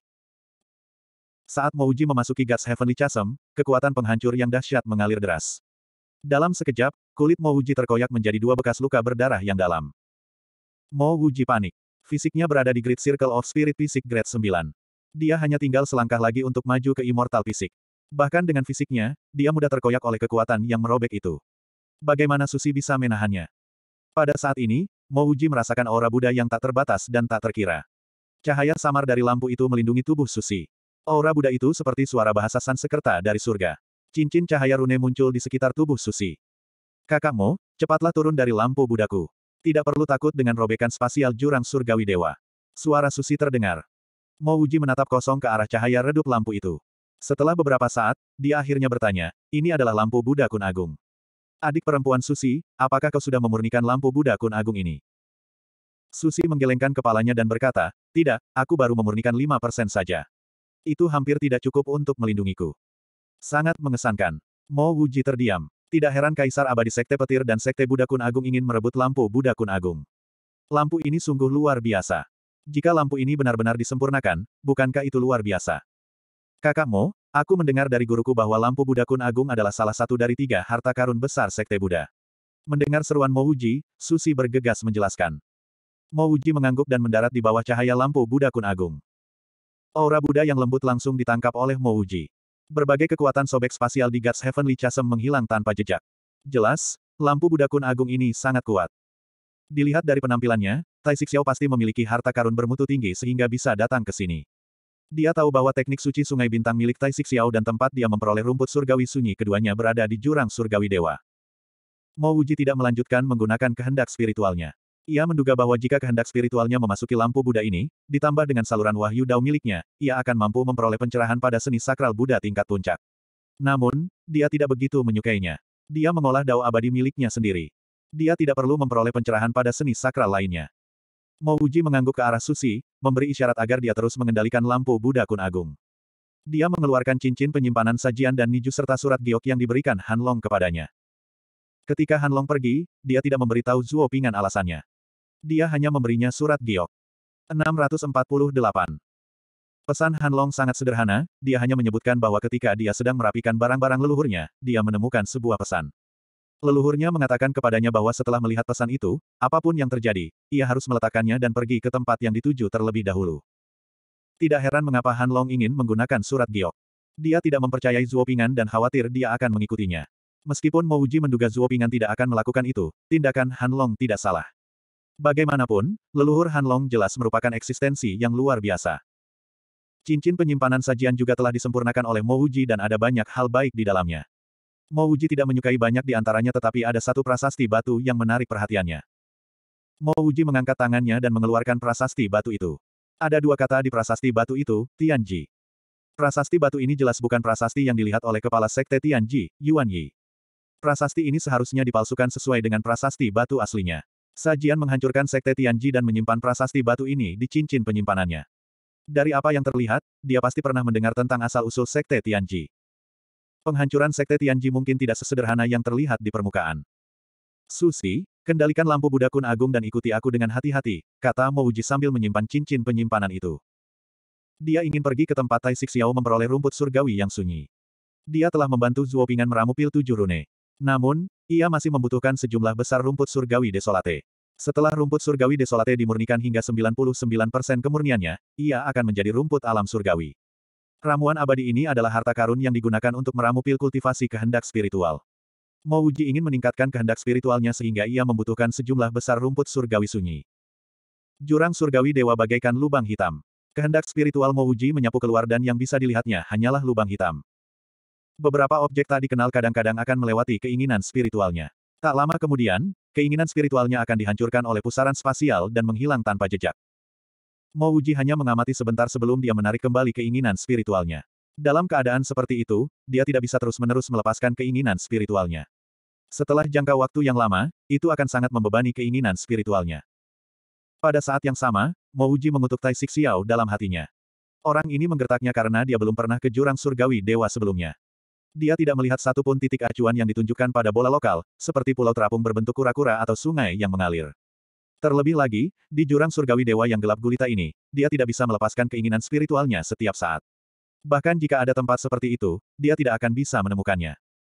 Sepertinya dia hanya bisa mengandalkan keberuntungan untuk memasuki jurang surgawi dewa. Ledakan. Cahaya lampu Budakun Agung mulai bergetar hebat dan serangan balik yang kuat datang dari luar cahaya lampu. Susi, yang mengendalikan lampu Buddha Kun Agung, batuk seteguk darah dan cahaya lampu Buddha Kun Agung mulai meredup dengan cepat. Raungan. Dengan suara gemuruh yang keras, Mouji hanya bisa melihat mulut besar yang dipenuhi dengan niat membunuh. Tanpa ragu-ragu, Mouji meraih susi dan berteleportasi. Kadang-kadang, keberuntungan adalah bagian dari takdir. Kalau saja dia tidak menemui celah spasial di jurang surgawi dewa, itu akan dianggap sebagai keberuntungannya. Kalau dia menemui keretakan spasial, bisa dikatakan dia sedang sial. Teleportasi instan Mouji di dalam jurang surgawi dewa sepenuhnya didasarkan pada keberuntungan. Jika dia ceroboh dan bertemu dengan celah spasial, dia dan Susi mungkin akan berubah menjadi debu atau terbelah menjadi dua. Menghadapi mulut besar yang tak dikenalnya, Mouji tidak punya pilihan lain selain mengambil risiko dan melarikan diri. Ketika robekan spasial muncul di depan Mouji, Mouji hanya bisa menghela nafas dalam hatinya. Keberuntungannya benar-benar tidak baik. Jika dia mencoba menghindari keretakan ini, dia dan Susi mungkin akan terbelah menjadi dua olehnya. Pada titik ini, dia tidak punya pilihan lain selain memeluk Susi erat-erat dan memasuki celah spasial. Tepat saat Mouji memasuki celah spasial, dia mendengar suara gemuruh yang melengking. Dalam hatinya, dia sebenarnya sedikit bersuka cita. Untungnya, dia memasuki celah kehampaan, jika tidak, dia akan ditelan oleh binatang iblis yang tidak dikenal itu. Ketika dia berteleportasi, dia sama sekali tidak menyadari adanya monster iblis besar yang mengikutinya dari belakang. Jika bukan karena binatang iblis itu terbelah menjadi dua oleh celah spasial, dia pasti sudah memasuki perut binatang iblis itu. Barulah dia tahu bahwa teleportasinya tidak berhasil menyingkirkan binatang iblis itu. Kakakmu, tempat ini tampaknya adalah tanah kematian, kata Susi dengan suara gemetar. Sekalipun dia telah menjadi sangat dewasa dalam semalam karena kematian gurunya, dia pada akhirnya tetaplah seorang gadis muda tanpa banyak pengalaman. Saat dia memasuki tempat ini, dia merasakan suasana tidak bernyawa. Mo Wuji menghentikan langkahnya. Tidak ada tanda-tanda kehidupan atau energi unsur di tempat ini. Susi benar, ini memang tanah kematian. Tidak ada tanda-tanda kehidupan di sini, jadi seharusnya tidak ada binatang iblis yang kuat di sini. Ikuti aku di belakang dan aku akan memeriksanya, Mouji memberi instruksi kepada Susi sambil berjalan hati-hati di tanah hampa ini. Dua jam kemudian, Mouji berhenti karena terkejut. Ia melihat ramuan spiritual melayang di udara. Tepatnya, itu adalah sepotong rumput surgawi desolate yang melayang di udara. Tai Xiao berkata bahwa rumput surgawi desolate miliknya berasal dari jurang surgawi dewa. Namun, koordinat yang diberikan Tai Xiao kepadanya tidak dapat digunakan. Dia tidak menyangka akan memasuki tanah hampa dan melihat hamparan rumput surgawi yang begitu luas. Ini adalah rumput surgawi sunyi. Susi tidak sepenuhnya tidak tahu karena dia pernah mendengar tentang rumput surgawi sunyi sebelumnya. Mouji mengangguk dengan gembira, benar sekali. Ini adalah rumput surgawi yang sunyi dan akan sangat berguna bagiku.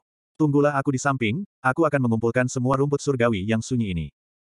Total lebih dari seribu batang rumput surgawi sunyi dikumpulkan oleh Mouji. Setelah Mouji mengumpulkan semua rumput surgawi sunyi, dia melihat akar panjang berwarna ungu. Akar ungu panjang ini berada di bawah rumput surgawi desolate. Jika dia tidak mengumpulkan semua rumput surgawi desolate di atas, dia tidak akan dapat menemukan akar ungu panjang ini. Kakakmu, apa ini? Susi bertanya dengan heran.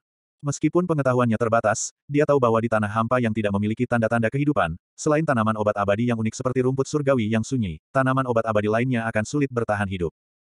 Mo Wuji meraih akar ungu panjang itu dengan gembira karena dia merasakan energi unik darinya.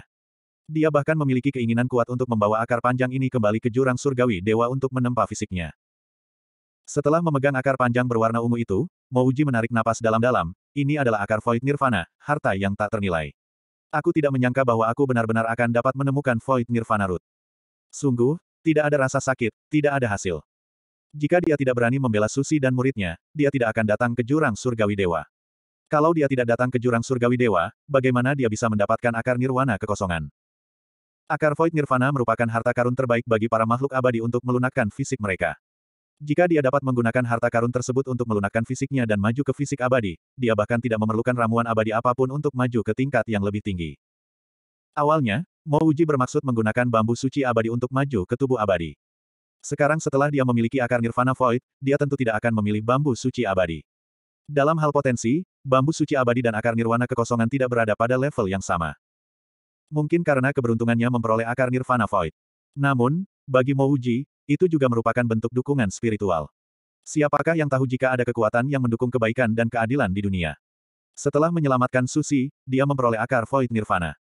Ah, Susi berseru kaget. Meskipun dia tidak begitu berpengetahuan, itu tidak berarti dia tidak tahu tentang akar Nirvana Void. Ini adalah harta karun yang melampaui kelas 9 dan tidak memiliki nilai.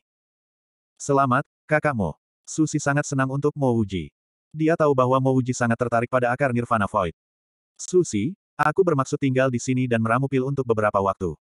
Aku sarankan agar kau memurnikan lampu Buddha Kun Agung di sini. Saat aku berhasil meramu pil abadi tingkat delapan, kita akan mencari celah untuk meninggalkan tempat ini, kata Mouji setelah menenangkan dirinya. Dia ingin meramu pil karena dia ingin naik ke Kaisar Pil tingkat delapan. Tujuan utama untuk maju ke tier 8 Pil Emperor bukanlah untuk menemukan bala bantuan yang kuat tetapi untuk meramu tier 8 Dry Wimple Pil.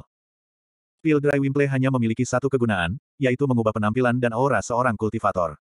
Selama dia mengonsumsi pil dry wimple, bahkan orang yang paling dikenalnya pun tidak akan mampu mengenalinya. Sekarang karena dia telah menyinggung terlalu banyak kekuatan, dia harus menyamarkan dirinya saat meninggalkan jurang surgawi dewa. Tidak ada penyamaran yang dapat dibandingkan dengan pil wimple kering. Selain itu, tidak semua kultivator memenuhi syarat untuk menggunakan pil wimple kering. Baiklah, aku akan mendengarkan kakakmu, Susi mengangguk. Bakatnya tidak buruk tetapi berkultivasi di tempat seperti ini tidak akan banyak membantunya berkembang. Di sisi lain, dia perlu terus menyempurnakan lampu Buddha Kun Agung. Asal dia dapat memurnikan lampu Buddha Kun Agung hingga 50%, dia setidaknya akan mampu melindungi dirinya sendiri di jurang surgawi dewa. Di pinggiran jurang surgawi dewa, alun-alun kota sementara secara bertahap terbentuk. Karena menara dewa di jurang surgawi dewa menjadi lebih jelas, semua orang tahu bahwa menara dewa akan segera terbuka. Pembukaan menara dewa tentu akan disertai dengan banyak transaksi. Memindahkan pasar ke pinggiran jurang surgawi dewa akan menjadi cara yang tercepat dan ternyaman. Di tengah-tengah jurang surgawi dewa, sebuah menara yang kabur muncul samar-samar. Setiap orang yang datang ke tempat ini tahu bahwa itu adalah menara dewa. Berdiri di pinggiran jurang surgawi dewa, seseorang pasti tidak akan mampu melihat di mana puncak menara dewa berada, juga tidak akan tahu di mana dasar menara itu. Yang dapat terlihat hanyalah beberapa ubin yang samar-samar terlihat di sisi menara dan kadang-kadang, satu atau dua cahaya kemasan akan muncul dari dalam menara dewa. Seorang pemuda bertubuh pendek berdiri di tepi jurang surgawi dewa. Matanya sesekali menyapu jurang surgawi dewa saat bola matanya terus bergerak. Jika Mouji ada di sini, dia pasti mengenali pemuda ini sebagai Tai Xiao yang memintanya untuk meramu pil si Desolate dan memberinya teknik suci laut bintang serta lokasi rumput surgawi Desolate. Pada saat yang sama, Mouji mengeluarkan enam pil putih bersih. Dia sangat puas dengan pil-pil itu. Selama lebih dari setahun, dia tidak berkultivasi sama sekali. Seluruh waktunya dihabiskan untuk meramu pil dan memahami dao pil. Setelah menghabiskan semua ramuan abadi tingkat delapan miliknya, dia akhirnya maju ke jajaran Kaisar Pil tingkat delapan setengah bulan yang lalu. Dengan sekumpulan pil wimple kering bermutu unik di tangannya, dia berdiri di puncak Dao Pil di dunia abadi. Mouji menatap kekosongan tak berujung di luar sana dan berpikir dalam hati, pembukaan menara dewa akan segera tiba. Dia harus memikirkan cara untuk keluar. 649. Adik perempuan Susi, bagaimana keadaannya? Tanya Mouji saat melihat Susi berdiri. Aku telah memurnikan 30% darinya dan aku seharusnya mampu melindungi diriku sendiri di jurang surgawi dewa. Susi menyimpan lampu Buddha Kun Agung di tangannya. Baiklah, kalau begitu, mari kita pikirkan jalan keluarnya. Setelah itu, Mo Wuji memanggil Dahuang. Awalnya, dia ceroboh saat menjaga Dahuang di dunia abadi dan hampir terbunuh oleh monster tak dikenal. Sekarang, dia harus selalu berhati-hati. Mo Wuji memimpin jalan sementara Dahuang menjaga bagian belakang sedangkan Susi mengeluarkan lampu Buddha Kun Agungnya untuk melindungi mereka. Sebelumnya, Mo Wuji tidak merasakan apa-apa saat dia meramu pil di satu tempat. Sekarang, saat dia berjalan di ruang kosong ini, bahkan Mo Wuji pun merasa gentar. Seolah-olah langkah selanjutnya yang diambilnya akan membawanya ke lubang hitam yang membuatnya merasa sangat tidak nyaman. Kekosongan ini tampaknya tidak berujung dan bahkan setelah Mo Wuji membawa Dahuang dan Susi selama lebih dari sepuluh hari, tetap tidak ada apa pun di sekitar mereka. Tak perlu bicara soal celah di kehampaan, mereka bahkan tak melihat setitik debu pun. Mo Wuji hanya bisa menghela napas panjang karena beruntungnya dia bisa melihat hamparan rumput surgawi sunyi yang luas saat dia masuk. Tuanku, kita baru saja ke sini sekali. Tepat saat Mo Wuji sedang bingung ke arah mana harus pergi, Dahuang tiba-tiba berbicara. Mo Wuji menghentikan langkahnya saat ia menyadari sesuatu. Dalam kekosongan ini, ia tidak memiliki arah karena ia berjalan sesuai dengan pikiran bawah sadarnya. Bukan tidak mungkin baginya untuk berjalan berputar-putar. Tidak heran mengapa dia bisa melihat hamparan besar rumput surgawi desolate dalam waktu yang singkat. Bukan karena keberuntungannya, tetapi karena hamparan rumput surgawi desolate itu terlalu mencolok. Jelasnya, kekosongan ini tidak terlalu besar. Dahuang, bisakah kau menemukan arahnya? Mo Wuji berpikir tentang bagaimana Dahuang jauh lebih kuat daripada dirinya dan Susi sehingga dia mungkin benar-benar punya cara. Tidak, aku hanya bisa mengandalkan instingku untuk merasakan bahwa ini adalah kedua kalinya kita di sini. Aku tidak tahu lokasi pastinya, tapi di mana pun kehendak spiritualku bisa rasakan, semuanya sama. Ketika Mouji mendengar ini, dia ingin menamparkan kepalanya. Di mana-mana keinginan rohaninya dapat dirasakan adalah sama dan ia bahkan tidak dapat merasakan lebih jauh lagi. Namun, dia memiliki mata spiritualnya. Mata spiritualnya dapat melihat melalui semua rekayasa. Jadi bagaimana jika itu adalah kekosongan? Tempat ini juga rekayasa. Dia benar-benar berada di gunung ini, tetapi dia telah mengabaikan hal yang paling penting. Mo Wuji buru-buru memadatkan mata spiritualnya. Meskipun ini masih merupakan kekosongan, ada perbedaan besar di bawah mata spiritualnya. Tidak ada lima elemen di sini, tidak ada kekuatan hidup, tetapi ruang dan waktu. Terlebih lagi, mata spiritual Mouji bahkan menangkap sedikit jejak energi spiritual abadi. Itu benar. Bahkan jika rumput surgawi desolate ingin bertahan hidup di kehampaan, tanpa energi spiritual abadi dan aura dao, bagaimana ia bisa bertahan? Kehadiran energi spiritual abadi tidak berarti bahwa tempat ini bukanlah ruang hampa. Sebaliknya, itu karena ruang ini terhubung dengan dunia luar. Retakan-retakan kehampaan sering muncul, dan energi spiritual abadi ditimbulkan oleh retakan-retakan kehampaan. Ruang hampa yang sebenarnya tidak memiliki energi spiritual abadi. Oleh karena itu, energi spiritual abadi terus-menerus diserap oleh rumput surgawi yang sunyi. Tempat ini masih sangat dekat dengan ruang hampa. Selama dia mengikuti arah energi spiritual abadi yang terdeteksi oleh mata spiritualnya, dia akan mampu menemukan celah dalam kehampaan. Asal dia bisa menemukan void crack, dia akan bisa meninggalkan tempat ini. Dengan pemikiran ini, kecepatan Mo Wuji meningkat. Hanya dalam empat jam, ia merasakan energi spiritual yang lebih abadi. Sebuah pulau besar berbentuk kura-kura muncul di depan Mo Wuji. Di tepi pulau ini, terdapat sungai berwarna perak yang mengalir.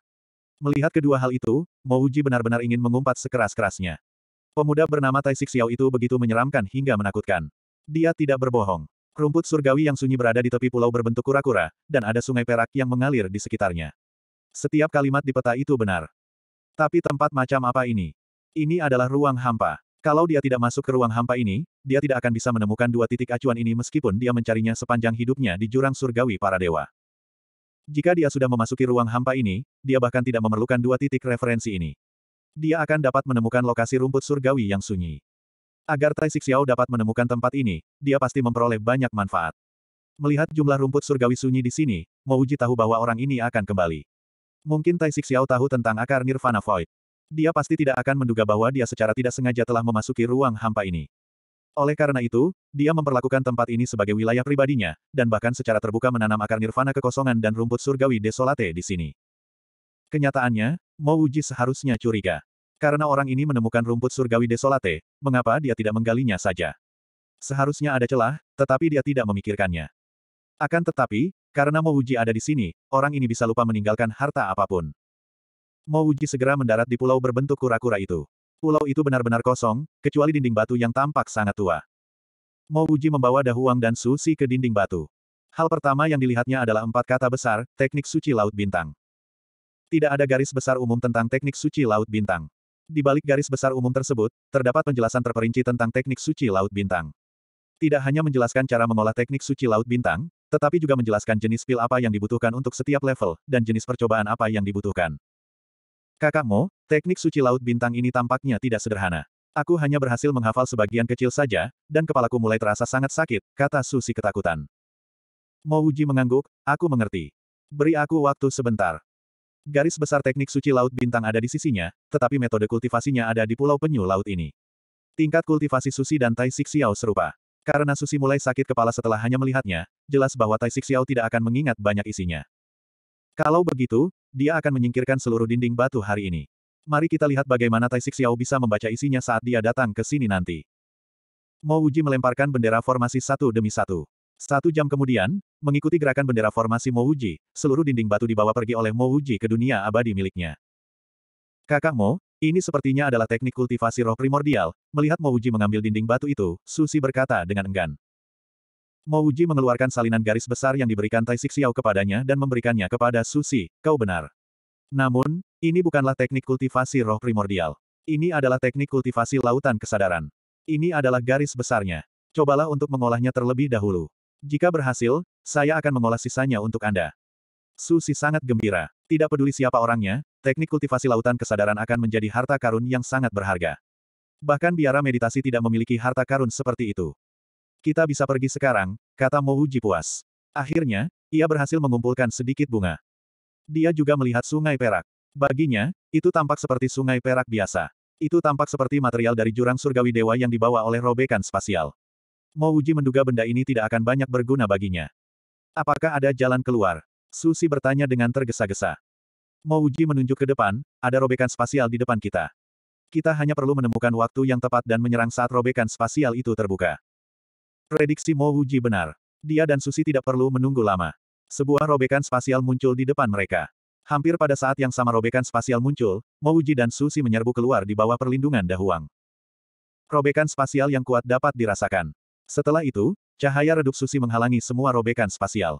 Mo Wuji tahu bahwa mereka sudah keluar. Mereka telah kembali ke jurang surgawi dewa. Mo Wuji mengamati sekelilingnya dengan kehendak spiritualnya. Tidak ada titik acuan di sekelilingnya. Jelas, Tai Xiao telah mengukir koordinat spasial tempat ini. Lebih jauh lagi, garis samar sebuah pagoda muncul dalam wasiat spiritual Mouji. Itulah menara dewa. Sebentar lagi akan dibuka, seru Susi. Mouji memberikan token Dewa Hanlong dan beberapa pil kepada Susi. Saat menara dewa dibuka, mari kita masuk bersama. Pil ini adalah pil Wimple Kering. Pil abadi tingkat 8. Satu pil dapat membuatmu mengubah penampilan dan aura sesuka hati selama setahun. Jika kita terpisah, kamu pasti punya cara untuk melindungi dirimu sendiri. Sedangkan untuk pil Wimple kering, kau dapat meminumnya sebelum menara dewa dibuka. Tepat saat Mo Wuji selesai berbicara, cahaya di sekitar menara dewa mulai bersinar lebih terang. Akan segera terbuka, kata Susi dengan cemas. Pada saat yang sama, dia menelan pil Wimple kering. Belum. Kurasa masih ada waktu. Kudengar lantai bawah menara dewa akan terungkap sepenuhnya sebelum dibuka. Mo Wuji juga menelan pil Wimple kering. Pada saat yang sama, dia memberi isyarat kepada Susi agar tidak cemas. Di pinggiran jurang surgawi para dewa, banyak sekali orang yang menatap menara dewa yang bersinar. Semua mata tertuju pada menara dewa karena semua orang tahu bahwa menara dewa adalah tempat di mana hal-hal yang benar-benar baik dapat ditemukan. Itu tertinggal saat perang dewa dahulu kala. Konon, harta karun di dalamnya melampaui perlengkapan abadi kelas 9. Jika seseorang bisa mendapatkan sebagian warisan itu, ia akan bisa terbang ke langit. Meskipun semua orang tahu bahwa Menara Dewa penuh dengan bahaya dan tidak akan mudah untuk keluar hidup-hidup, semua orang masih ingin memasuki Menara Dewa. Mengapa Zi Changluo dari surga yang maha tinggi mampu menjadi Kaisar Dao? Itu karena Zi Changluo memperoleh harta karun yang tak tertandingi di Menara Dewa. Dia bahkan melampaui level Kaisar Agung. Adapun di tingkat mana Kaisar Dao Zi Changluo saat ini, tidak seorang pun tahu. Sayangnya, jumlah slot di Menara Dewa terbatas. Sebagian besar slot diberikan kepada berbagai sekte di Jurang Abadi Dewa. Sekte domain abadi lainnya, bahkan kekuatan puncak seperti Aliansi Abadi Pildao, hanya dapat memperoleh tiga token giok. Sebagian besar sekte dapat memperoleh satu atau dua token giok. Sedangkan bagi sekte yang tidak memiliki kaisar abadi, pada dasarnya mereka tidak akan memenuhi syarat untuk memasuki menara dewa kecuali mereka memiliki kesempatan khusus. 650. Cahaya yang terpancar dari menara dewa menjadi semakin terang dan kabut yang menghalangi menara dewa tampak telah dicairkan oleh sinar matahari saat kabut tersebut perlahan menghilang. Atap menara dewa berangsur-angsur menjadi lebih jelas dan orang bahkan dapat melihat jalan berbatu biru di depan menara dewa. Setengah bulan berlalu dan suara dengungan terdengar. Kabut di luar menara dewa seperti lapisan tipis pakaian yang terkoyak saat menjadi jelas dalam sekejap. Menara dewa akan segera dibuka. Setelah terdengar teriakan, banyak kultivator dengan token dewa berdiri dengan cemas di tepi jurang surgawi dewa sambil menunggu menara dewa terbuka sehingga mereka bisa menyerbu masuk. Tai Xiao juga berdiri di tepi jurang surgawi dewa. Sementara semua orang dengan gugup melihat ke ujung jalan setapak batu biru, tatapannya terfokus pada kedalaman jurang surgawi dewa. Kamu adalah Tai Xiao. Sebuah suara tiba-tiba terdengar di telinga Tai Xiao. Tanpa sadar, Tai Xiao menggigil. Setelah itu, ia melihat seorang pemuda berwajah putih dan tanpa bulu di wajahnya. Pemuda ini sedang menatapnya dengan dingin. Saya memang Tai Xiao. Kakak senior, ada apa? Tai Xiao mengepalkan tangannya dan berkata dengan hormat. Pemuda itu berkata pelan, sebelumnya, kau menggunakan peralatan abadi kelas 8 dan 2 Fast Si Desolate untuk menukar token dewa milik adik junior Luyu, benar kan? Ah, Tai Xiao menatap kosong ke arah pemuda itu dan bertanya dengan ragu, token dewa. Kakak senior, apakah Anda berbicara tentang token yang memungkinkan seseorang memasuki menara dewa? Jangan pura-pura bodoh. Katakan padaku, apakah kau menukarkan token dewa milik suster junior Luyu? Pemuda itu mengerutkan kening dan bertanya dengan tidak sabar. Tai Xiao tiba-tiba berkata, kakekmu yang menukarkannya. Apa yang bisa kamu lakukan pada kakekmu?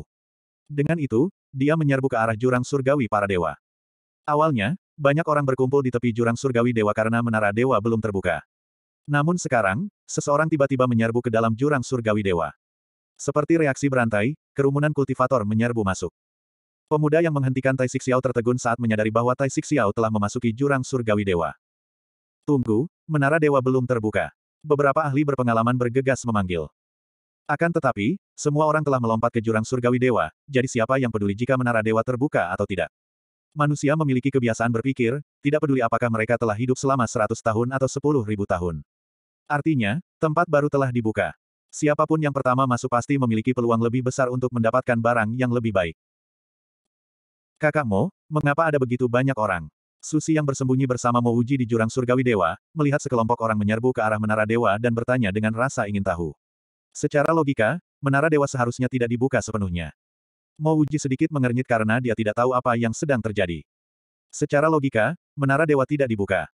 Ledakan. Suara keras terdengar dan di ujung jalan batu biru menuju menara dewa, sebuah pintu emas besar muncul. Pintu itu terbuka dan aura kuno merembes keluar. Mo Wuji tidak bisa tidak mengagumi orang-orang ini karena memasuki jurang surgawi dewa pada waktu yang sangat kebetulan. Sebelum menara dewa dibuka, mereka sudah menyerbu masuk.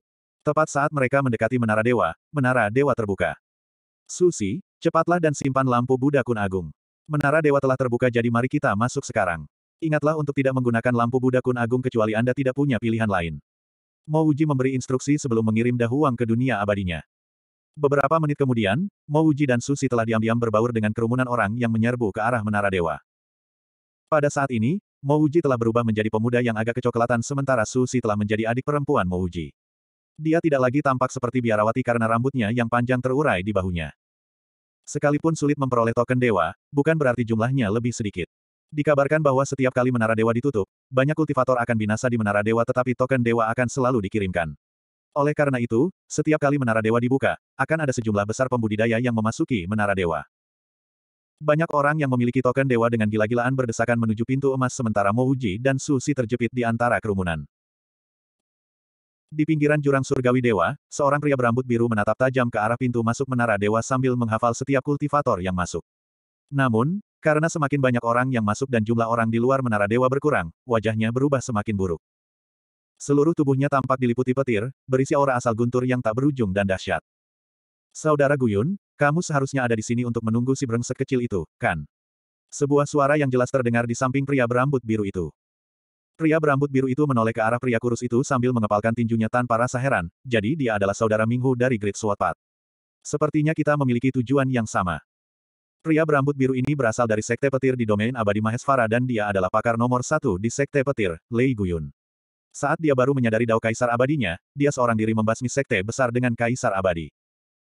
Pria kurus ini membawa pedang panjang di punggungnya dan dia memiliki alis tajam dan mata Phoenix yang membuatnya tampak sangat anggun.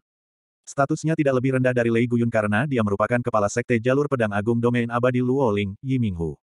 Bagaimana bisa ketua sekte berdiam diri saja ketika seorang tetua abadi dari jalur pedang agung terbunuh? Terlebih lagi, yang mulia abadi ini adalah Sajian, guru dari jenius penerus jalur pedang agung, Huang Sa. Aura petir saudara Guyun mulai keluar dan tampaknya kamu akan segera mencapai terobosan. Begitu Yi Minghu melihat ekspresi Lei Guyun, dia tahu bahwa Lei Guyun hampir mencapai puncaknya. Kalau tidak, tidak akan ada aura petir seperti itu yang keluar. Dalam keadaan normal, Lei Guyun tidak akan keluar pada saat seperti itu. Tetapi sekarang Lei Guyun sudah keluar sebelum berhasil menerobos dan bahkan sampai ke jurang surgawi dewa, orang bisa melihat betapa marahnya dia. Lei Guyun menarik napas dalam-dalam, benar sekali, bajingan kecil ini membunuh tetua nomor satu sekte petirku, Ki Junyi, dan juga membunuh pendeta abadi dan raja abadi sekte petirku. Jika aku tidak mengubah tulang bajingan kecil ini menjadi abu, maka aku, Lei Guyun, akan menyia-nyiakan semua tahun kultivasiku. Yi Minghu menganggukkan kepalanya, orang ini kejam dan tak kenal ampun. Dia membunuh guru dan murid sajian dari jalur pedang agungku di tepi jurang surgawi dewa. Aku tak sabar untuk mengekstrak jiwanya dan memurnikannya. Lei Guyun tentu saja tahu apa yang dimaksud Yi Minghu. Dia berkata dengan ragu, secara logika, orang ini memperoleh token dewa, jadi dia seharusnya memasuki menara dewa. Mengapa aku tidak melihatnya? Yi Minghu berkata dengan lemah, ada banyak cara untuk menyamarkan diri. Mo Wuji ini mampu melangkah ke jajaran Kaisar Pil tingkat tujuh di usia yang begitu muda, jadi dia jelas bukan orang yang akan menyerah begitu saja. Kurasa orang ini pasti menggunakan semacam metode penyamaran untuk memasuki menara dewa. Kita tinggal menunggu di sini. Selama dia tidak mati, dia akan keluar. Jika dia meninggal di Menara Dewa, maka dia bisa menganggap dirinya beruntung. Begitu dia memasuki pintu emas itu, Mouji merasakan sebuah kekuatan besar dan dahsyat menyapu dirinya. Di bawah kekuatan besar dan dahsyat ini, dia bahkan tidak memiliki kemampuan untuk melawan. Celepuk. Niat dingin yang menusuk tulang merasukinya. Mouji tahu bahwa dia telah jatuh ke dalam air. Hal pertama yang dia lakukan adalah mengirim Dahuang keluar. Ledakan. Saat Dahuang keluar, dia meninju. Energi unsur abadi yang dahsyat meledak di sekelilingnya, menyebabkan pusaran air besar terbentuk di dalam air. Seekor binatang ikan dengan mulut penuh gigi tajam meninggalkan jejak darah saat melarikan diri. Bau amis tercium. Mo Wuji langsung merasa ada yang tidak beres. Ia memanggil Dahuang dan langsung keluar dari air. Beberapa saat kemudian, ikan-ikan tak dikenal yang tak terhitung jumlahnya memenuhi tempat di mana dia berdiri. Mo Wuji merasakan hawa dingin di punggungnya. Jika dia lebih lambat, dia akan ditelan bulat-bulat. Dia tidak tahu ke mana Susi diteleportasi. Dia hanya bisa berharap agar dia tidak diteleportasi ke perairan berbahaya seperti dirinya. Mo tidak berani mengeluarkan pesawat ulang-aliknya.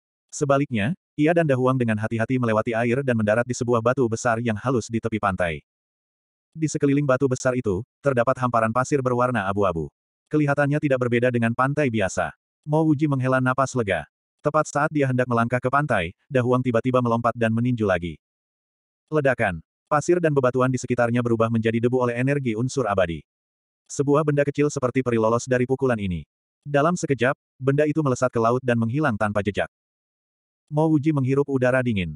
Dia sangat jelas mengetahui kekuatan Dahuang. Bahkan seorang kaisar agung harus menggunakan seluruh kekuatannya untuk bertahan melawan pukulan Dahuang. Namun, makhluk kecil seperti peri itu malah lolos ke laut setelah terkena pukulan Dahuang. Dahuang, benda apa itu? Kenapa begitu menakutkan? Tanya Mouji dengan rasa takut yang masih tersisa. Dahuang menjawab dengan suara rendah dan teredam, sepertinya itu semacam roh peralatan. Aku tidak tahu apa sebenarnya itu. Sambil berkata begitu, Dahuang mengulurkan tangan dan menyentuh kepalanya. Semangat perlengkapan. Hanya sekedar semangat perlengkapan saja sudah begitu kuat. Mo Wuji menjadi semakin berhati-hati. Dia mendarat di tanah. Memang, di kedalaman pasir dan batu yang diledakkan Dahuang, dia melihat cincin tembaga besar. Dia tidak tahu dari bahan apa cincin tembaga ini dibuat. Kehendak spiritual Mo Wuji sama sekali tidak dapat menembusnya. Akan tetapi, cincin tembaga itu seperti sepotong besi tua, tidak memiliki energi spiritual apa pun. Dahuang, Aku tahu roh senjata yang keluar tadi pasti berasal dari cincin tembaga ini. Cincin tembaga ini tampaknya bahkan lebih kuat dari peralatan abadi kelas 9. Kata Mouji sambil mengulurkan tangan untuk mengambil cincin tembaga itu. Boom! Sebuah anak panah air melesat keluar dari laut, menerjang ke arah Mouji sekali lagi. Untungnya, Dahuang ada di samping Mouji. Dia meninju sekali lagi. Plop! Sebuah ledakan terdengar. Benda yang keluar dari air itu dihantam kembali oleh Dahuang untuk kedua kalinya. Mouji berkata tanpa ragu, ayo pergi, Dahuang. Kita harus segera meninggalkan tempat ini. Roh perlengkapan itu bukanlah sesuatu yang bisa dianggap remeh. Setiap kali Dahuang melancarkan pukulan, roh itu akan menghabiskan sebagian kristal hijaunya. Begitu kristal hijau Dahuang habis, dia akan berada dalam masalah besar. Mengenai cincin tembaga ini, Mouji tidak bermaksud menyimpannya. Dia yakin bahwa cincin tembaga ini milik roh peralatan. Begitu dia mengambilnya, roh peralatan itu pasti akan mengejarnya.